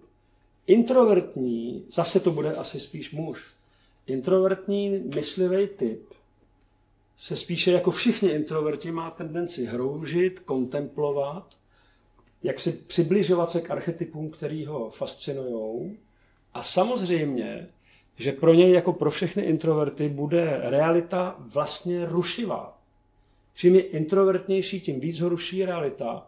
A proto introvertní myslivý typ obvykle bývá starý mládenec, protože není nic rušivějšího na tomhle světě pro muže, než je žena. Šakty a její tanec velice brání kontemplaci. Druhý, hned za ženou, je realita, takže je potřeba svůj vlastní život jakoby utřídit a nějak jako uspořádat do přesných a pevných zvyků. Emmanuel Kant měl denní řád, který neporušoval ani v neděli, úplně konstantní a pevný, nehybný. Podle něj si řídili hodinky. Ten, když ve dvě hodiny šel prostě na procházku, nebo myslím, že šel od jedné do půl třetí, no jako nějak to měl. Za každýho počasí s ním šel sluha s deštníkem. Bylo úplně jedno, jaký je počasí. Mohlo být bezmračný. Sluha s deštníkem kráčel za kantem. Prostě. Lidi si řídili, a jedna hodina. Kant právě vyšel na procházku. Měl ranní zamyšlení. Ranní zamyšlení. Setkání s přáteli, ale všechno přesně. Všecko přesně. Jednu přednášku za den. Já jsem četl, existuje nádherná kniha, která vyšla za první republiky, napsal ji pan Heveroch. Jmenuje se o podivínech a lidech nápadných. Kdyby se vám dostala do ruky, je fantastická. Myslím, že i ten Kant je tam popisovaný. A je tam týpek, který každý den chodil spát v půl devátý. On v půl devátý i umřel. Ten jako neměl rád ruš, každá změna je k horšímu prostě. Jo, takže jako svým způsobem ten introvertní myslivý typ, dokonce říká někde eh, Jung a, má pravdu, je, je to strašně špatný učitel, protože on během toho, místo, aby jenom předal ty věci, on o tom přemýšlí v tu chvíli. On to v tu chvíli řeší, nějaký, eh, nějaký eh, psychologie žáků, nebo tak to vůbec jako nezajímá. On se pohrouží, my jsme měli taky takového kantora, který jako, když se mu tohle stalo, tak on třeba po čtvrt hodině eh, výuky, tak jsme věděli, že se skončilo. Mohlo jít na svačinu. Že chlap se zamyslel a už, už mě nic nevypadlo prostě. My jsme tak jako tiše odešli. Sokrates prý to měl taky takhle, že jednou se nad něčím zamyslel a 24 hodin, denně, 24 hodin stál bez pohybu, někde u řeky. Pak prý jeho, bylo to někde na nějakým vojenským tažení a jeho kolegové už si vytahovali eh, lehátka, koukali na Sokrata. Do rána takhle, takhle stál, nehybnej prostě, pohroužený ve své myšlenky, neboť nic lepšího nepoznal. Takže to je myslivý typ introvertní, Citový introvertní typ je taky moc zajímavý. Mezi ženami, říkám, určitě jsou výjimky, ale drtivý většině případů jsou to, ty mysl, mysl, mysliví jsou muži a citoví jsou ženy. Ta uh, introvertní citová žena, uh, čím je introvertnější, tím je nebezpečnější. Jo? A řeknu proč. Protože myslím, že je takový to hezký pořekadlo, že tichá voda sahá hluboko. Že jo? Buď říkáme tichá voda břehy mele, anebo tichá voda sahá hluboko. Ta žena se o muže v podstatě nezajímá. Pokud jí zajímá nějaký muž, tak je to Ježíš Kristus.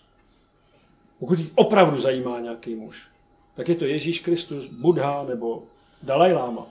Prostě archetyp, obraz archetypu. To je to, k čemu, čím citově žije. Někdy se může stát, a přeju vám každému, aby se vám to nikdy nestalo, mužům hlavně, že ta žena si vás s tím archetypem může splést. To je jediný případ, kdy na vás zareaguje. A bohužel, jak už ta příroda je nastavená, tak právě tyhle ženy muže velice přitahují, protože jsou takový jako tichý, nenápadný. E, jako probouzej v muži zase ten obraz toho zachránce, jo, jako zachránit tuto ženu. Že by třeba aspoň jako třeba odpověděla na otázku, nebo tak.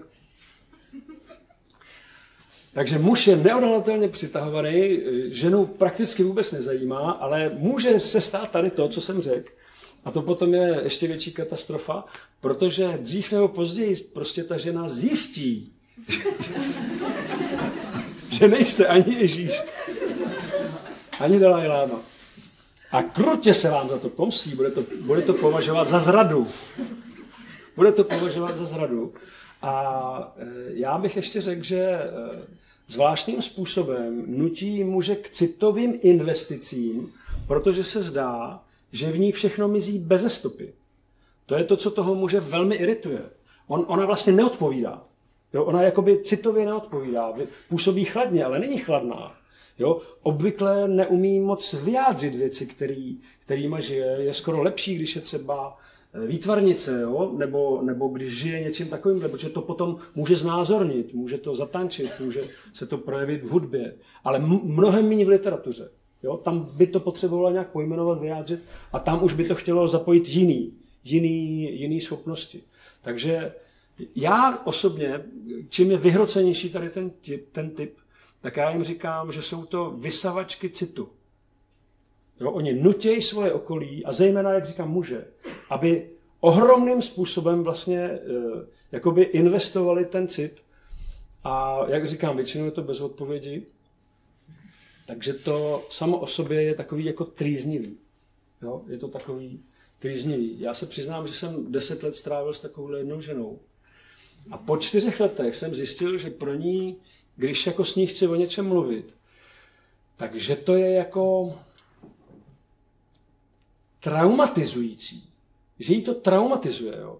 A tak jsem tenkrát měl takový rozhodnutí, myslel jsem si, že tím pomůžu tomu vztahu že ji k tomu nebudu nutit a že až bude chtít ona o něčem mluvit, takže třeba přijde. Tenkrát jsem se naučil být sám.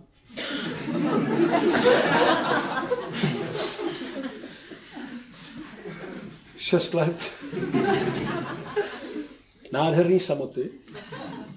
Potíž byla v tom, že když potom opravdu chtěla teda o něčem mluvit, tak mě už to nezajímalo. To, to byl ten problém. Mezitím došlo k nějakým změnám a vlastně e, zdálo, nějak už mě prostě, myslel jsem si původně, že pěstuju ten vztah a nakonec jsem zjistil, že jsem pěstoval něco úplně jiného.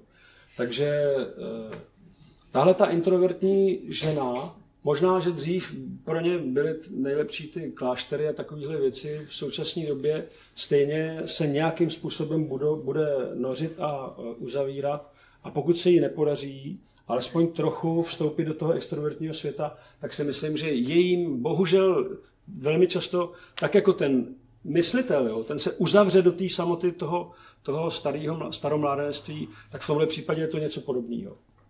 Jo, je to jakýsi zvláštní druh samoty nebo, nebo izolace, ale myslím si, že... A bohu, jak říkám, když to jde potom ještě jako hůř, že to pokračuje dál, tak to může skončit i v těch psychiatrických uh, úč, uh, ústavech. Jo? Protože Zatímco extroverze v nejhorším případě směřuje k hysterii, tak introverze v těch nejhorších případech směřuje k schizofrenii. Protože ten člověk se jakoby noří do toho archetypu, je uchvacovaný tím archetypem a vnější realita je čím dál pro něj jako ne, neskousnutelnější. Jo? A samozřejmě ta fascinace tím archetypem ani tu, tu komunikaci s tou realitou moc neumožňuje. Jo? Proto tyhle ty případy jsou spíš, spíš složitější. Introvertní vnímání je taky zajímavý. My jsme normálně zvyklí vnímat prostě židly, auto, dům, určitě i nějak esteticky, určitě i nějak citově, ale asi by nás málo kdy napadlo, že lokomotiva je drak. Málo koho by to asi hned napadlo. Děti s tím nemají problém. Když jsem jel se svojí dcerou do metra, tak řekla, že jedeme do břicha velryby. Jo, tohle to vnímání, to archetypové vnímání, kde vlastně povrchy jsou spíše výzvou k tomu podívat se jako dovnitř, co, co ve skutečnosti vlastně vyvolávají, nebo v tom archetypovém světě. V takovém světě žijou uh, introvertní věmový typy. Obvykle jejich vyjadřovací schopnosti jsou eh, jako zanedbatelný, protože je nikdy nezajímalo, pokud nejsou teda, jak říkám, zase výtvarný. Jo? Tam, tam naopak, tam by se řeklo, že tam je to skvělá terapie a skvělá možnost navázání kontaktu. Ale jinak žijou v pohádkovém světě ještěrů, eh, brontosaurů, dinosaurů, rytířů, jo, kr- princezen, královen, vše, všechno se to takhle jako... A úplně jim to stačí. Úplně jim to stačí a často, to je taky zajímavý, eh, Jung, a, a oni to většinou ani nevědí, jo, ale hodně, mě to někdy líčej teda eh, v těch terapiích, je velice zajímavý takový zvláštní specifický inervace. To znamená, že jako hodně je zajímá třeba, jak to vypadá, když se jako mín dejchá. Proměňuje ten obraz. Jo? To by jako jinýho člověka asi tolik nezajímalo. Prostě ten bys, ani by ho to nenapadlo. Jo? A teď vlastně, nebo naopak, jo? dechá se rychleji. Jako. Byste nevěřili, co to dělá s mrakama. Jo? Já to nevím, jo, co to dělá s mrakama, ale už jsem to zaslech párkrát. A, a e, většinou jsou ty lidi v takovém taky zvláštním světě, neuchopitelným, ne příliš vlastně komunikace schopným, ale o to zajímavějším. Jo, o, o to zajímavějším. A když se dostanu k těm introvertním intuitivům, tak tam bych řekl, že jsme možná úplně nejdál od té reality. Protože jestli existují prorokové, tak jsou to in, intuitivové introvertního typu. Jestli je něco prorockého v někom, tak to je ten, který ho nezajímá ten kopec a to olovo, nebo ten cín, nebo to, já nevím, něco, co tam v něm je. Ne, ne, ne. Toho zajímá jako, co ten Bůh tím chce vyjádřit. Jo? Co Bůh chce říct svýmu lidu si pamatuju, že jsem jednou viděl takového pána, který mluvil na lidi, oni čekali na, na, na metro a on jim říkal bratři a sestry. Apokalypsa už začala. Čtyři apokalyptičtí jezdci opustili nebe. Je to technologie, informace, ještě nějaký řek, manipulace a ideologie. Žehnám vám, a my stáli, koukali, až jim přijde ten vlak. Mám dojem, že o něm věděli tak dva. A ty ještě dělali, že ho neviděli. Prorok. To byl prorok. Ale samozřejmě, že potíž je v tom, jakoby vím, že se mi to asi nepodařilo úplně, že já jsem tohleto, co vám tady teďka povídám, když jsem učil, tak na to jsem měl celý semestr. Jo? A tam jsme to mohli fakt jako probrat. To, bohužel to, to je velmi, velmi kusá informace. Ale e, myslím si, že ta praxe mluví o tom, že žádná jednostrannost není dobrá. Není moc dobrý být jenom určitý typ. Jo, není moc dobrý být jenom extrovertní, citový typ, anebo být jenom ten prorok. Většinou to člověka přeturčuje k určitému typu neštěstí, anebo k nějaký katastrofě. Jo. Dřív nebo později stejně musíte připojit ty ostatní funkce. a dřív nebo později ten introvert musí zapojit ten extrovertní prvek a naopak. Jo? Teď se bavíme o tom, o té dynamice, kterou, která v těch typech je skrytá.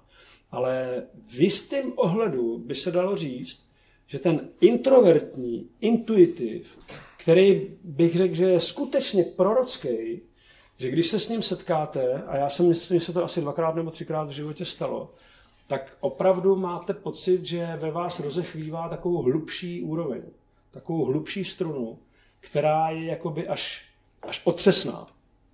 Jo, tou jakousi zvláštní pravdivostí, která z něj vlastně vyzařuje.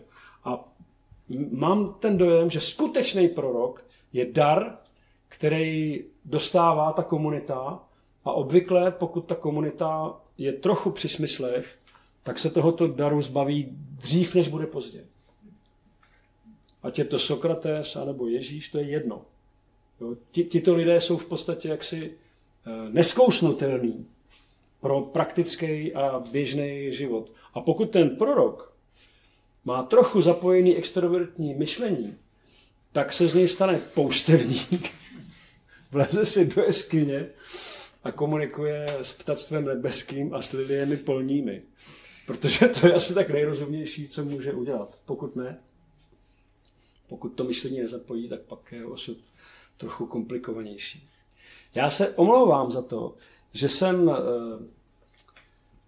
to opravdu jenom načrtnul. Eh, jak jsem o tom mluvil, tak jsem si říkal, bože, tam je tolik věcí, které by bylo dobrý k tomu říct, ale prostě není to možný. Jo? Není to možný. Ten, pokud se mi podařilo aspoň vzbudit váš zájem o tenhle ten druh pohledu na věci, já bych byl úplně spokojený, to by mi úplně stačilo, protože jinak je, je to mnohem, mnohem delší, delší povídání.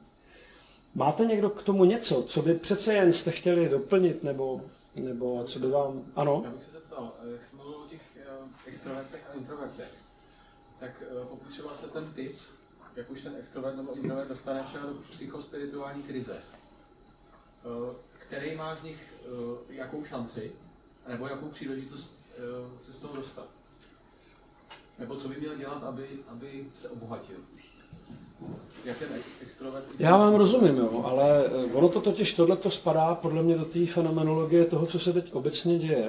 A skutečně se domnívám, že tím, že momentálně ta extrovertovanost už, je, už jako nemůže se dál hrotit, nebo evidentně jo, ta příroda zakro, zakročí sama, tak eh, z mýho pohledu psychospirituální krize je prvek spíše introvertního typu. Protože každý, komu se to stane, ať je sám extrovertní anebo introvertní, tak uh, mluví o tom, že byl zasažen právě archetypy. Jo? Že byl zasažen hlubší úrovní, tou duchovní úrovní. Ta ve skutečnosti uh, je extrovertům vlastně um, spíše uzavřená, protože oni si ji úspěšným způsobem racionalizují. I, I když jsou to kněží. Jo? V, tom, v tom to vůbec jakoby není. Tady mluvíme o tom, že skutečný duch se tam někde objevil a proto to tím člověkem otřásá a proto ho to vlastně nutí chovat se jinak než dosud. Nevím, kdo z nich, je, kdo z nich to může líp zvládat, protože je klidně možný, že právě introverta to přivede do blázince. Právě z toho důvodu, že už tam stejně nějak byl. A teď, teď najednou je to pro ně ještě potvrzený. Že to takhle je. Jo, takže to bývá někdy těžký. Jo. Já jsem zažil případy, kdy skutečně někdo trval na tom, že spása musí být dokončená na celé planetě jako do 12. Jo, to, to nemůže vést jinam než do ústavu choromyslných, jo, protože to je prostě nesmysl. To, ten chlap... A ještě to bylo zajímavé, že to, že to bylo proto, že mu právě Bůh mu řekl, všechny svoje dluhy splatíš, než slunce vyjde na, na horizont. Ne na horizont, na, na kulminantu. Do zenitu. On, vyvr, on se snažil splácet dluhy. Pak zjistil, že půjčil někomu, že má knížku půjčenou doma, tak telefonoval matce svojí nemocný starý matce prostě, ať, ať běží přes Prahu s knížkou vrátit knížku. Jako. Já když jsem se s ním o tom bavil, tak jsem říkal, to je právě těžký, víte, protože eh, to, co vám ten duch řekl, je přesný. To sedí úplně skvěle. Ale jestliže to budete doslovně chápat, tak se míjíte s tím poselstvím. Protože poselství říká, že nemůžete dosáhnout vrcholu svého života, když nebudete mít splacený dluhy. Ale nemyslí se tím dluh jako revizorovi. Jo. Ten, ať, ten, se postará byřic. Jako, to je jiný dluh. To je dluh vůči duši. Jo. A ten, nedávno mi to řekla ne, úžasně jedna klientka, která tohle už měla za sebou a řekla, víte, já jsem se tak uklidnila, když jsem si uvědomila, že na to mám věčnost. Moje duše mi řekla, máš na to celou věčnost, kam spěcháš?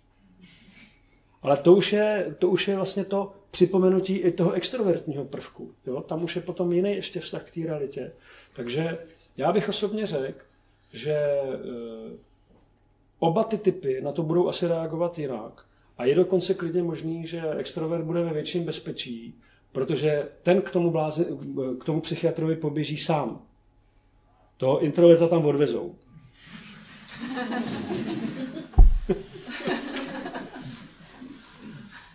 Jak se to určuje, kdo jaký typ? Na to jsou nějaké psychologické testy, nebo je to nějakým? No, já si myslím, že tohle je samozřejmě objektivně se asi nedá úplně nikdy říct, protože se bavíme o věcech, které těžko budete měřit. Ale my, jako co já se takhle bavím s lidma, tak většinou na to člověk přijde sám. Většinou přijde na to, co je pro něj fakt rozhodující. Jo, když, je, když má trochu víc rozvinutou introspekci, tak skutečně musí sám sobě připustit, že ty okolnosti mají pro něj fakt nějakou váhu. A proto je extrovertní. Jo? A, a ten jiný vám řekne, já vím, jako, že všichni dělají tohle, ale já prostě, já nemůžu. A dokonce, čím je poctivější, ten introvert tak vám řekne, já bych hrozně chtěl, já bych tak se chtěl přizpůsobit, tak toužím prostě, ale nemůžu, nejde to. Jo, to, to jsou věci, které jako nahlídnete určitě, já, se, já osobně jsem nikdy neměl rád ani testy, ani tyhle ty jako objektivní metody, protože mně přijde, že je to za A snadno zneužitelný a za B svým způsobem nesmyslný. Jo, nějaký IQ testy. Jsem čet někde dopis, mám IQ 156 a nikoho to nezajímá. Já jsem si říkal, to je zajímavé, že to nezajímá ani tebe. Přes IQ 156 by si takový dopis neměl psát svědčí o určitým typu omezenosti. Takže eh, já osobně víc přikládám váhu tomu, k čemu člověk si dojde sám, než k tomu, co, mu, co si někde vy, eh, vytestuje. Ale znám mnoho extrovertů, kteří taky vám řeknou, jo, já to vím prostě. A vím, že je to pro mě lepší. Když bych se hrál na něco, co nejsem, tak, tak spíš budu mít problém. Takže takhle to asi spíš, spíš bude. Ale to víte, že na to nějaký testy budou. To bych se divil, že by nebyly.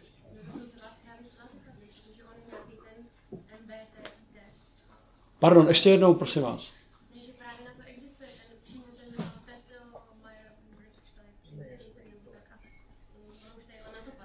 Určitě, já se vsadím, že vyplníte krátký dotazník a prostě z něj zní to jako vyjde celkem jednoduše.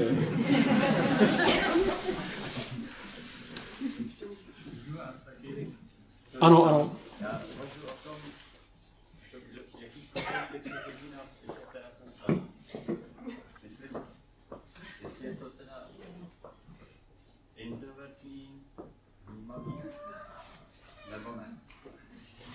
Víte co, já jsem rád, že tohle to říkáte, jo, protože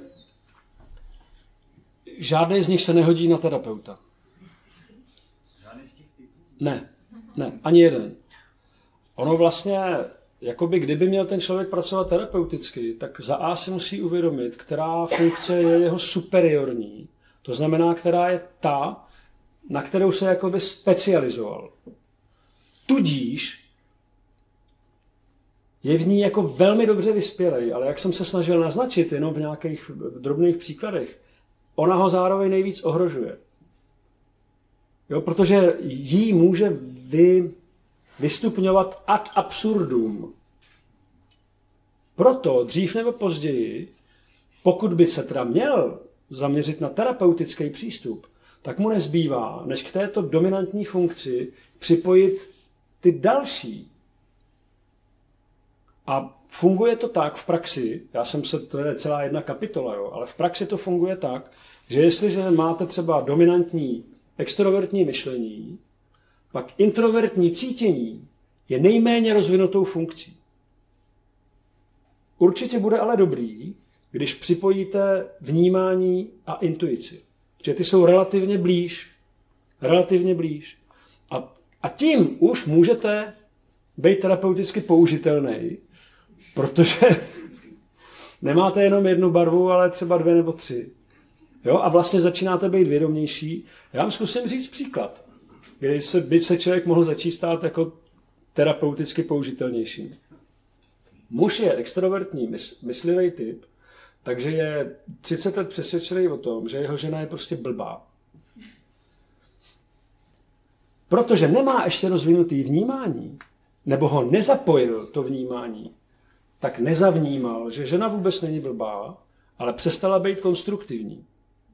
Byla konstruktivní prvních deset let a nyní už se omezí na to, že pozoruje určitý strategie nevědomí toho muže.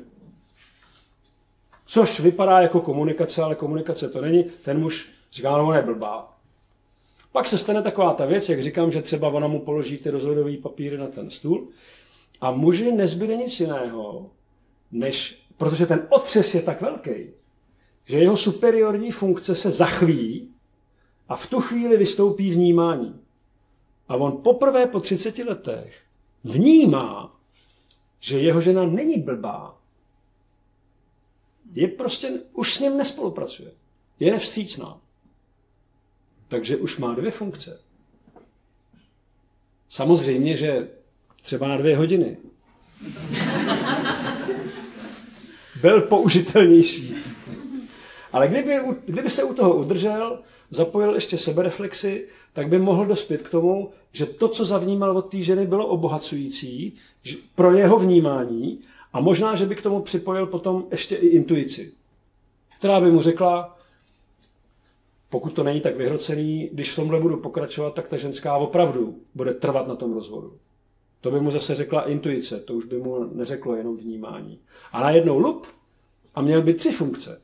Myšlení, vnímání i intuici.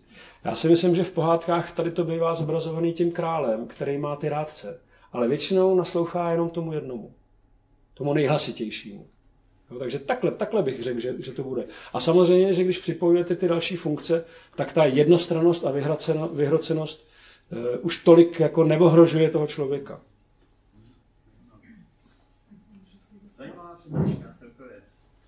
Děkuju. Mě by zajímalo, jaká je taková ta nejvyhrocenější forma hysterie, nebo jak jste říkal, že je to jako protipol té psychospirituální krize, tak, tak jsem to dobře pochopil. Jo, no... Jaká je jakoby taková ta nej, nejbrutálnější forma? Nebo uh, spíš víte co, je dobrý se zase na to podívat na té na tý, takový nejobecnější úrovni. To znamená, co to je hysterie? Hysterie vzniká z toho, že ten extrovert je opravdu připoutaný k té vnější realitě. Jeho vlastně nenapadne, že by byla jiná možnost, než přesvědčit svého partnera o své pravdě.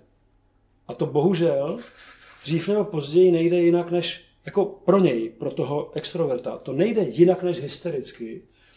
Je to jako zvláštní způsob vyvíjení nátlaku. To znamená vyhrocování, vyostřování, excitace té komunikace. Křičí se, hází se věcma, prostě dělají se, omdlívá se, dělají se různé jako věci. Ta, ten hysterický člověk navíc nemá ani pocit, že by, to, že by to byla jeho strategie. On to tak opravdu má. Jo, takže vzniká to tou připoutaností k, tý, k, tý, k tomu objektu, jo, k, tý vnějš, k tomu vnějšímu světu. Protože introvert by si řekl, dřív nebo později by si třeba řekl, no jo, tak on to prostě nechápe. No. Nedá se nic dělat. Tohle to extroverta vůbec jako nenapadne. On, on ví, že musí toho člověka, on tomu říká přesvědčit, v podstatě to znamená zmanipulovat a prakticky je to vytvořit situaci, která pro toho druhého je tak nesnesitelná, že raději ustoupí. Jo? Jako to, v tom je síla hysterie. A samozřejmě, že introvert bude velmi náchylný na to, že tyhle situace nechce zažívat. Že dokonce ani jeho žena už nemusí být tak hysterická. Jo? Já, já znám případy lidí, a znám je třeba dobře, znám ty manžele a vím, jak fungují a je to, je to víc případů a vím, že ta žena už nemusí rozbíjet talíře. Jako. Tam stačí, že toho muže napadne, té, ona by mohla rozbíjet talíře. Jako. To stačí. No, ona, a, a, a co, jako, který ten projev je horší? Ten, kdy ona rozbíjí ty talíře, anebo ten, kdy jenom jako dá najevo, že tohle jako se jí vlastně nelíbí a ten muž už jí rovnou ustupuje. Jo, už rovnou jde vlastně na ruku. Ale jinak bych řekl, že nej, nej, nejvyhrocenější hysterie je právě ta, kdy ten hysterik jakoby nedosahuje ještě pořád svého. Takže určitě to bude vyhrocovat klidně, jo, jo, jo, jo. A myslím, já nevím, jakou to má hranici. No. Hrozně pěkně tady o tom píše právě Jung, který řekl, v životě se mu stalo, bylo mu asi 12 nebo 13, běžel do školy, školu nesnášel samozřejmě, někdo mu tam podrazil nohu, on upadnul a potom, když se měl soustředit, tak omdlel. A musel přestat chodit do školy, protože omdlíval. Když se měl soustředit na výklad, tak omdlíval. Takže prostě najednou. Přesně dosáhnul toho, co chtěl. Chodil po zahradě a snil, špicloval dospělí, co si říkají. A jeho otec jednou říká nějakému chlapíkovi, no ten můj syn, to je blbý, no. Já, on nemůže chodit do školy, nebude mít vzdělání. My tak bohatý nejsme, aby on mohl být rentier. Asi, asi skončí v nějakém ústavu prostě sociálním. Jung se vytěsil, běžel okamžitě do studovny a začal studovat první knihu, která mu přišla pod ruku. Po pěti minutách omdlel probral se, ponořil se do knihy, po deseti minutách omdlel, zase prostě se probral, po čtvrt hodině omdlel, řekl si, to, to není možný, jako prostě, jo. A už nikdy neomdlel. Pak už nikdy.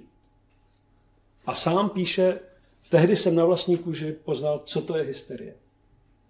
Jo, protože kdyby se na to člověk měl schopnost podívat subjektivně, což extrovert bývá málo kdy k toho schopnej, tak by musel říct, je to, ne, je to neobyčejná sugestivní síla, se kterou se uh, stotožňuji se svými představami.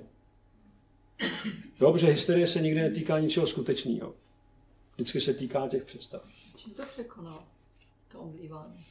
Za A si myslím, že tím, že byl sám introvertní a za B tím, že prostě věděl, že on, on to asi jako, že si to sám vytvořil. Vytvořil si tu představu, Ale že, leko, pardon, lekl se natolik toho, že by skončil v tom ústavu. No přesně, to přesně, překonal, přesně. No, to bylo horší, to bylo pro ně horší zlo. Jo. Bylo pro ně horší zlo. A je to hrozně zajímavý, jo, že, ale eh, říkám, na, na hysterii líp se zevnitř budou schopní podívat introverti. Extroverti moc ne. No tak jenom zkoumavě. Ne, extroverti budou říkat, že okolí je nepřizpůsobivý. Ne, a ten introvert na to bude dívat tak jako jenom jako, že zkoumavě. No já si taky myslím, že on asi jak měl namířeno na, na tu dráhu toho terapeuta, že bylo dobrý, že už jako věděl, jako co to vlastně je zevnitř. Jo. Mm. Že jinak já, když mluvím s extrovertním třeba klientem, tak mi řekne, že má něco s rukou a že oběhal všechny doktory a že teprve ten 35. doktor mu opatrně řekl, mohla by to být i hysterie.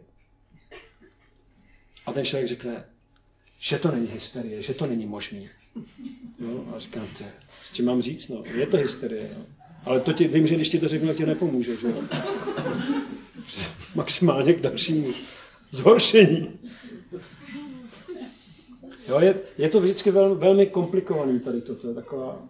Ale vy jste se taky chtěla něco. No, já třeba formuluji tu otázku, protože je to hrozně zajímavý, ale mm, připadá mi to takový jako neuchopitelný jako do reality.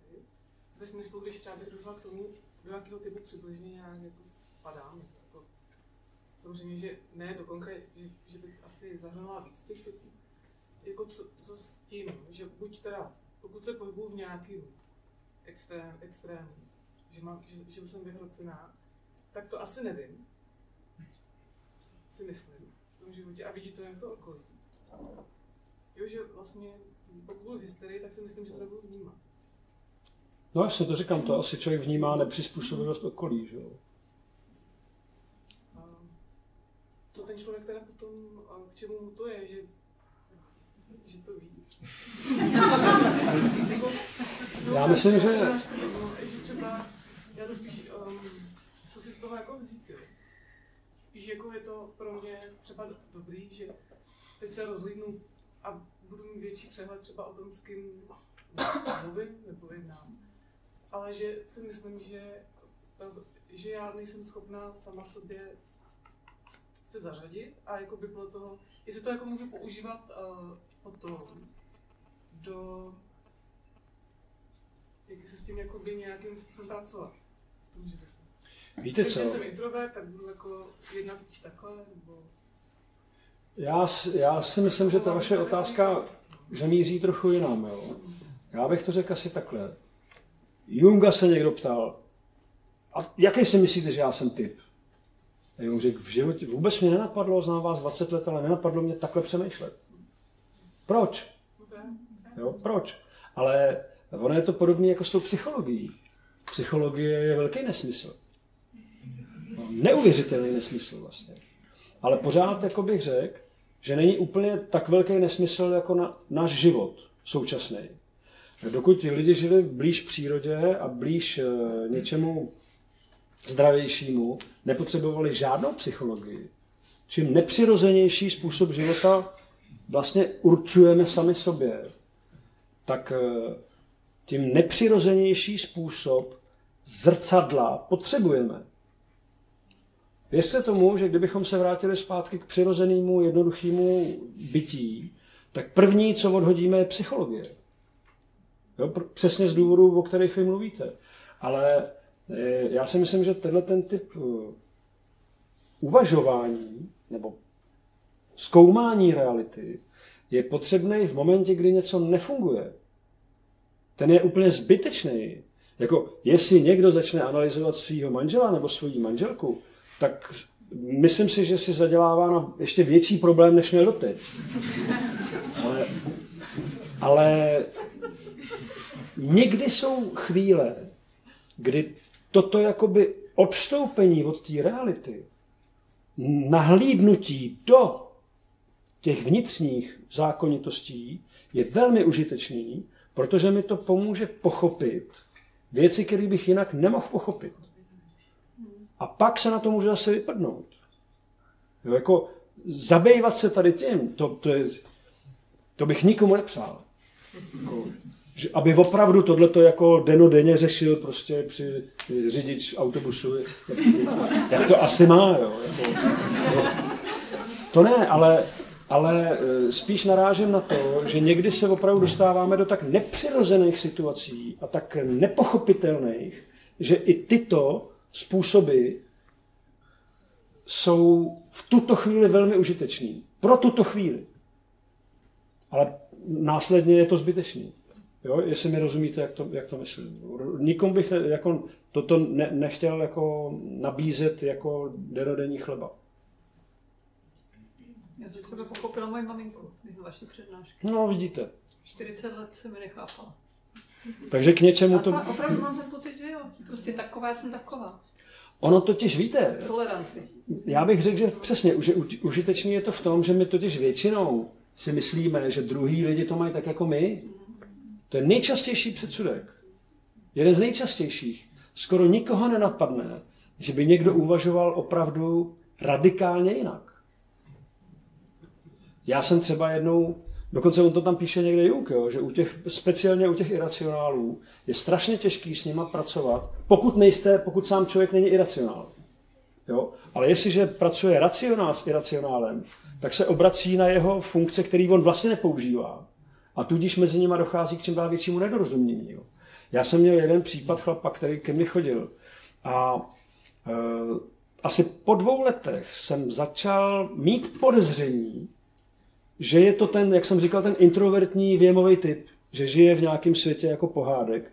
A ještě mi k tomu pomohla jenom náhoda, že jsem ho potkal na nádraží, kde stála zrovna parní lokomotiva, takhle z ní šla ta pára a on mi řekl, tohle není lokomotiva, to je drak. Pán Bůh prostě byl doma, jo. Jinak by mě to fakt asi nenapadlo. A tak jsem potom začal víc jako sledovat, co on vlastně dělá. A teď on mi furt něco vyprávěl a já jsem zjistil, že on mi něco vypráví jenom proto, aby poutal moji pozornost. A svým způsobem si takhle bral nějakou energii. Jo. Takový lidi, jaký jsou. A já jsem ho chvíli nechal a pak jsem mu řekl, a proč mi tohle říkáš? No, já nevím, jako proč. Aha. A zase na, nahodil něco jiného, zase začal něco povídat. A já jsem mu pak říkal, počkejte, mi tím fakt nechceš nic říct? A on, no to já nevím. Tak jsem říkal, já jsem tam měl v koordinaci jakou kitku velkou. Tak jsem mu říkal, tak to říkej ty kitce. On to totiž někde říká Jung, u některých typů, těch iracionálních, potřebujeme skoro až jako tvrdý zákrok. Jako tvrdý zákrok prostě. Abychom jim něco učinili zřejmějším. Protože když jim to jenom vysvětlujeme, tak to nestačí. Pro ně to je málo. A já, protože tady s tím už jsem měl nějakou zkušenost, tak vám můžu říct, že tohle fakt zafungovalo. Já jsem mu říkal, tak to neříkej mě, říkej to té kytce. A on odešel velice roztrpčený, velice naštvaný, ale najednou jsme se rozuměli. Jo, najednou jsme se rozuměli. Jung měl taky ten případ, tý ženský, která fackovala ty terapeuty, že jo. Když jí terapeut řekl něco špatného, tak ona ho profackovala. Terapeut řekl, další konzultaci už neobjednávám. Takhle se dostal až k Jungovi. A Jung tam psal tři měsíce, práce probíhala výborně. Pak jsem jí ale musel říct něco, o čem jsem věděl, že se jí to nebude líbit, hold to patří k naší práci. Tak jsem jí to prostě řekl. Načež se vstyčila, napřáhla. Já jsem se taky vstyčil a řekl jsem jí, jako dáma máte přednost.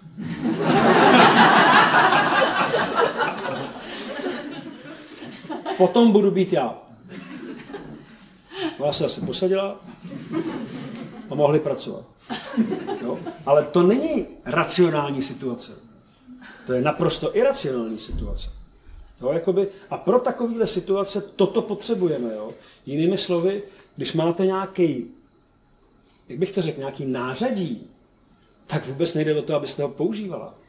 Jo, mistr bojových umění přece vůbec jako není ten, kdo k váma přijde a začne tam s váma cvičit, jako, si s váma házet, že jo. Ten se vyhýbá boji, dokud je to možný. I za tu cenu, že ho budou považovat za pitomce, tak se bude vyhýbat boji prostě. Jo? Jestli mi rozumíte, jak myslím tu odpověď, jo? takhle. Určitě to... Nechal bych si to takhle někde jako baťušku a když je potřeba, tak bych, tak bych to použil. tak asi máme... Já bych se třeba ještě zeptal na jednu věc. Ano. Uh, já jsem si prošel jedním školením, docela hodně zajímavým v rámci takhle těch eh, typologií, řekl bych hodně dynamických, skrz eh, Enneagram. Ano, ano, znám, znám. No. To je vlastně i rozvinutý vlastně tady tenhle ten model. A právě jakoby to je věc, kterou vnímám, jako že ji člověk umí napasovat na sebe, ale zároveň je schopný ji použít i v eh, praxi na ostatní lidi, jak s nimi pracovat, jak s nimi komunikovat a tak dále. Je nějaký způsob, jak jakoby uchopit i tyhle ty typy rozklíčovaný těch eh, introvertů, extrovertů, protože třeba nás čeká i školení v rámci třeba socioniky.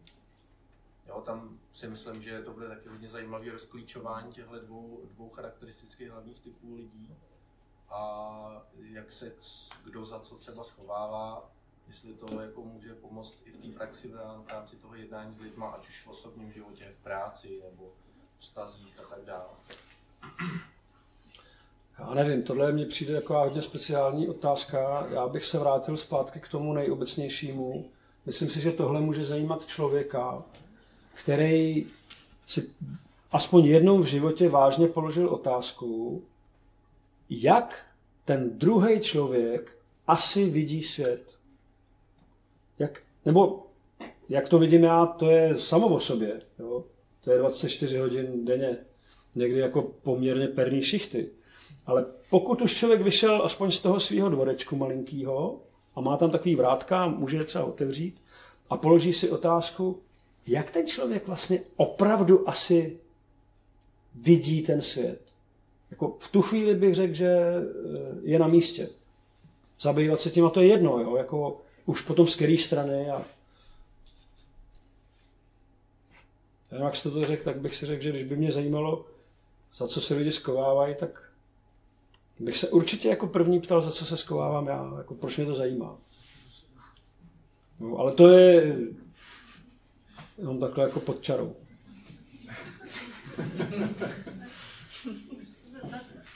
Na soužití dlouhodobého těch typů. Logicky to vypadá, že podobný typy by to měly mít snažší, ale vlastně to nikam neposune, nepřinutí. Co, co je lepší? jsou typově no lepší, že co je lepší.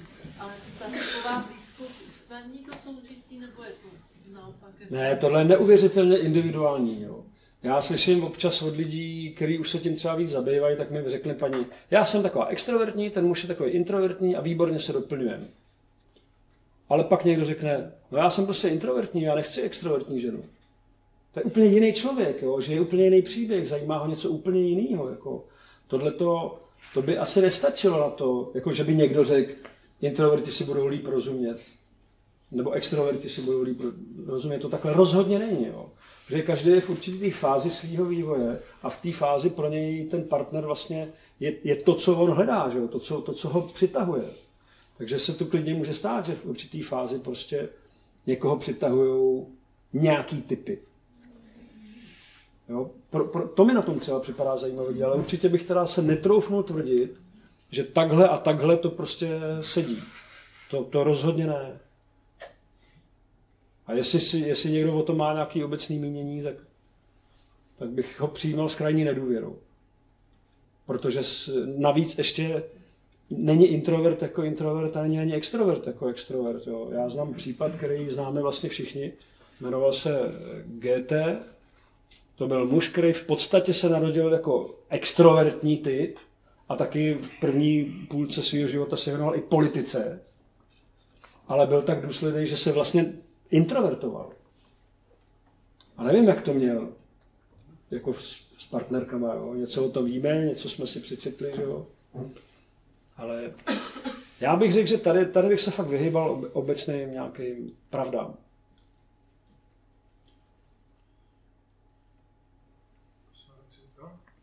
Ano. O těch jednotlivých typech jako takových diagnozách, že se tam ty jejich nedostatky. Když třeba u toho extrovertního myšlení jste říkal, že je to třeba takový jako ten stavitel, ten člověk, který vytváří ten technologický pokrok. Co byste vybral jako třeba takovou tu sílu tý introverz, toho introverzního cítění? Nebo těch pak ostatních prostě typů? Víte to právě, já jsem se do těchto věcí nepouštěl, protože to bychom fakt tady byli ještě ani, ani do zítřka by jsme to ještě jako ne, nemohli jako zvládnout. Jo.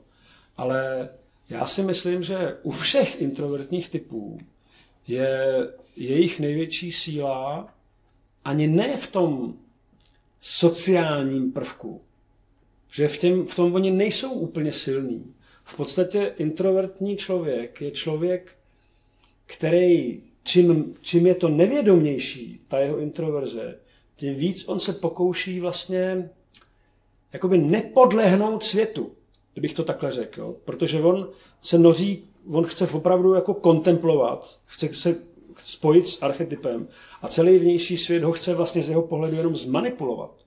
Jo? Proto mocenský typ, mocenská rovnice je velmi introvertní. Většinou introvert se ztrácí ve svých vlastních obranách. Někde Jung psal, že nevědomým ideálem introverta je ostrov, na kterém se hýbe jenom to, čemu on to dovolí. A já jsem si říkal, takže Schwarzenegger je vlastně introvert. Jako. Ten, když se objeví na ostrově, tak poměrně rychle se tam hejbe jenom to, čemu on to dovolí. Ale to je právě to ono. Jo? Jako v tom, v tom, v té v ekonomii du, duševní to takhle je. Jo? Proto ty introverti se neradi vlastně otvírají. Čím jsou introvertnější, tím jsou opravdu uzavřenější. Jo? On musí trochu víc se extrovertovat, aby se mohl vlastně otevřít. Takže já si osobně myslím, že u introvertů, u, u extrovertů jejich jedna z nejlepších vlastností je přizpůsobivost, ale i přizpůsobivost může být už kontraproduktivní v určitém smyslu. A u introvertů je to spíš nějaká ryzost, nějaká opravdovost. Jo, něco, jako opravdický zaujetí pro něco. Ale i to může být někdy komplikovaný. Ale asi tam bych viděl tu, tu největší hodnotu. Jo? Že nás vracejí zpátky k něčemu, co bychom možná i rádi opustili. Jako rušivý vlastně, jo? Nebo, nebo svazující. Ale introvert je ten, kdo řekne, moment, jako, jaký tohle má smysl? Jo? A to většinou klade tu otázku tomu extrovertovi, když se mu zdá, že se příliš přizpůsobil, aby se, a už se vzdálil tomu smyslu. Takže spíš já si myslím, že ten dialog mezi nimi. Ale jako, jako myslím si, že hodnota introverze je v tomhle. Jo, k tomu, v tom návratu k té podstatě.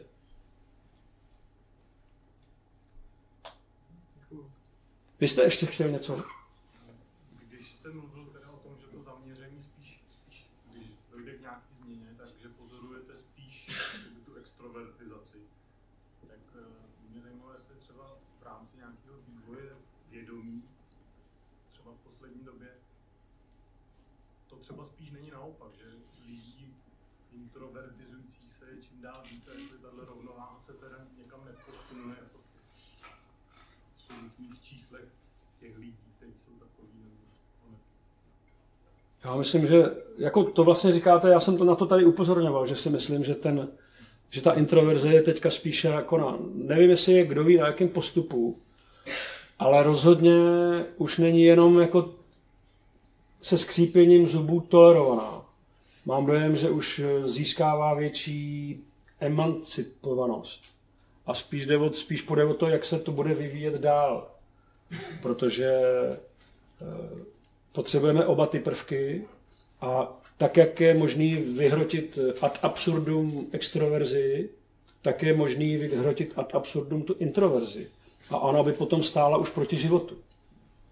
Protože třeba vlastně, eh, myslím, že William Blake, když mluvil o těch dvou typech, protože to, to nebyl první Jung, kdo si všimnul, že jsou tady dva jako protichůdný typy, tak on, myslím, tomu prvnímu ten, oz, ten označil jako plodivý a ten druhý označil jako pohlcující.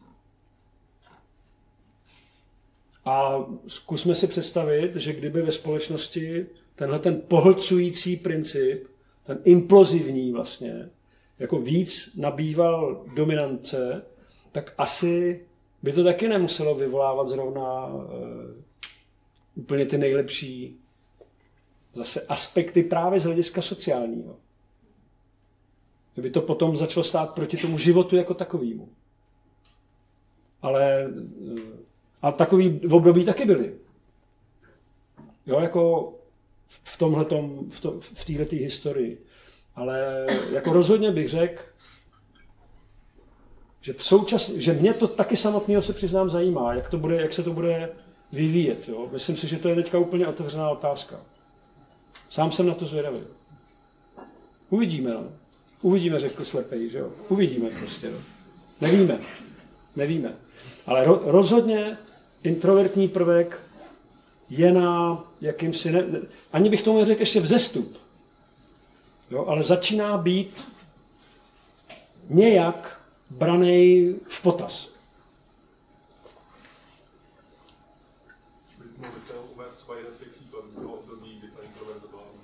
Já jsem o tom taky zrovna přemýšlel. Myslím si, že třeba eh, ta středověká mystika je proto charakteristická, a e, pak bych řekl, že to, byla, že to byly všechny ty období, kdy nějakým způsobem třeba matriarchát jo, byl, byl v něčem zvláštní a to bych tady musel jako mluvit víc o, o době, kdy, kdy vznikal matriarchát. Protože to bylo poprvé, kdy byla opuštěná, opuštěná vlastně přirozená harmonie těch, těch pólů v té společnosti. Jo. Kde, jak jsme vlastně žili do té doby jako indiáni. Ale těchto těch období oni se vždycky čas od času vyskytli a právě proto, protože stáli vlastně jakoby proti životu, tak byli překonaní. No, ale myslím si, že ta středověká mystika je jako typický příklad toho.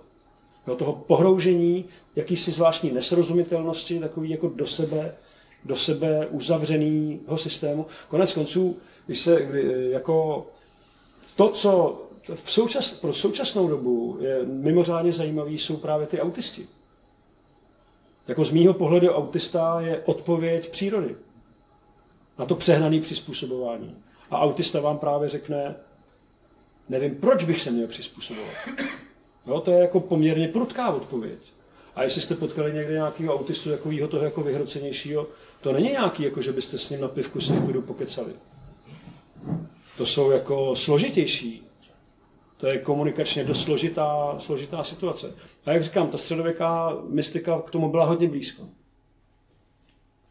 Ale já jsem tohle nikdy tolik nestudoval, abych vám k tomu mohl říct něco jasnějšího. Ale tohle je pro mě jasný příklad. Jo, tý jakýsi uzavřenosti, podivný, nesrozumitelný, když, když čtete tyhle, ty, já jestli jste to někdy doporučoval třeba Eckharta, anebo, no, nebo tyhle ty scholastiky, jo, který přicházely tady s tím.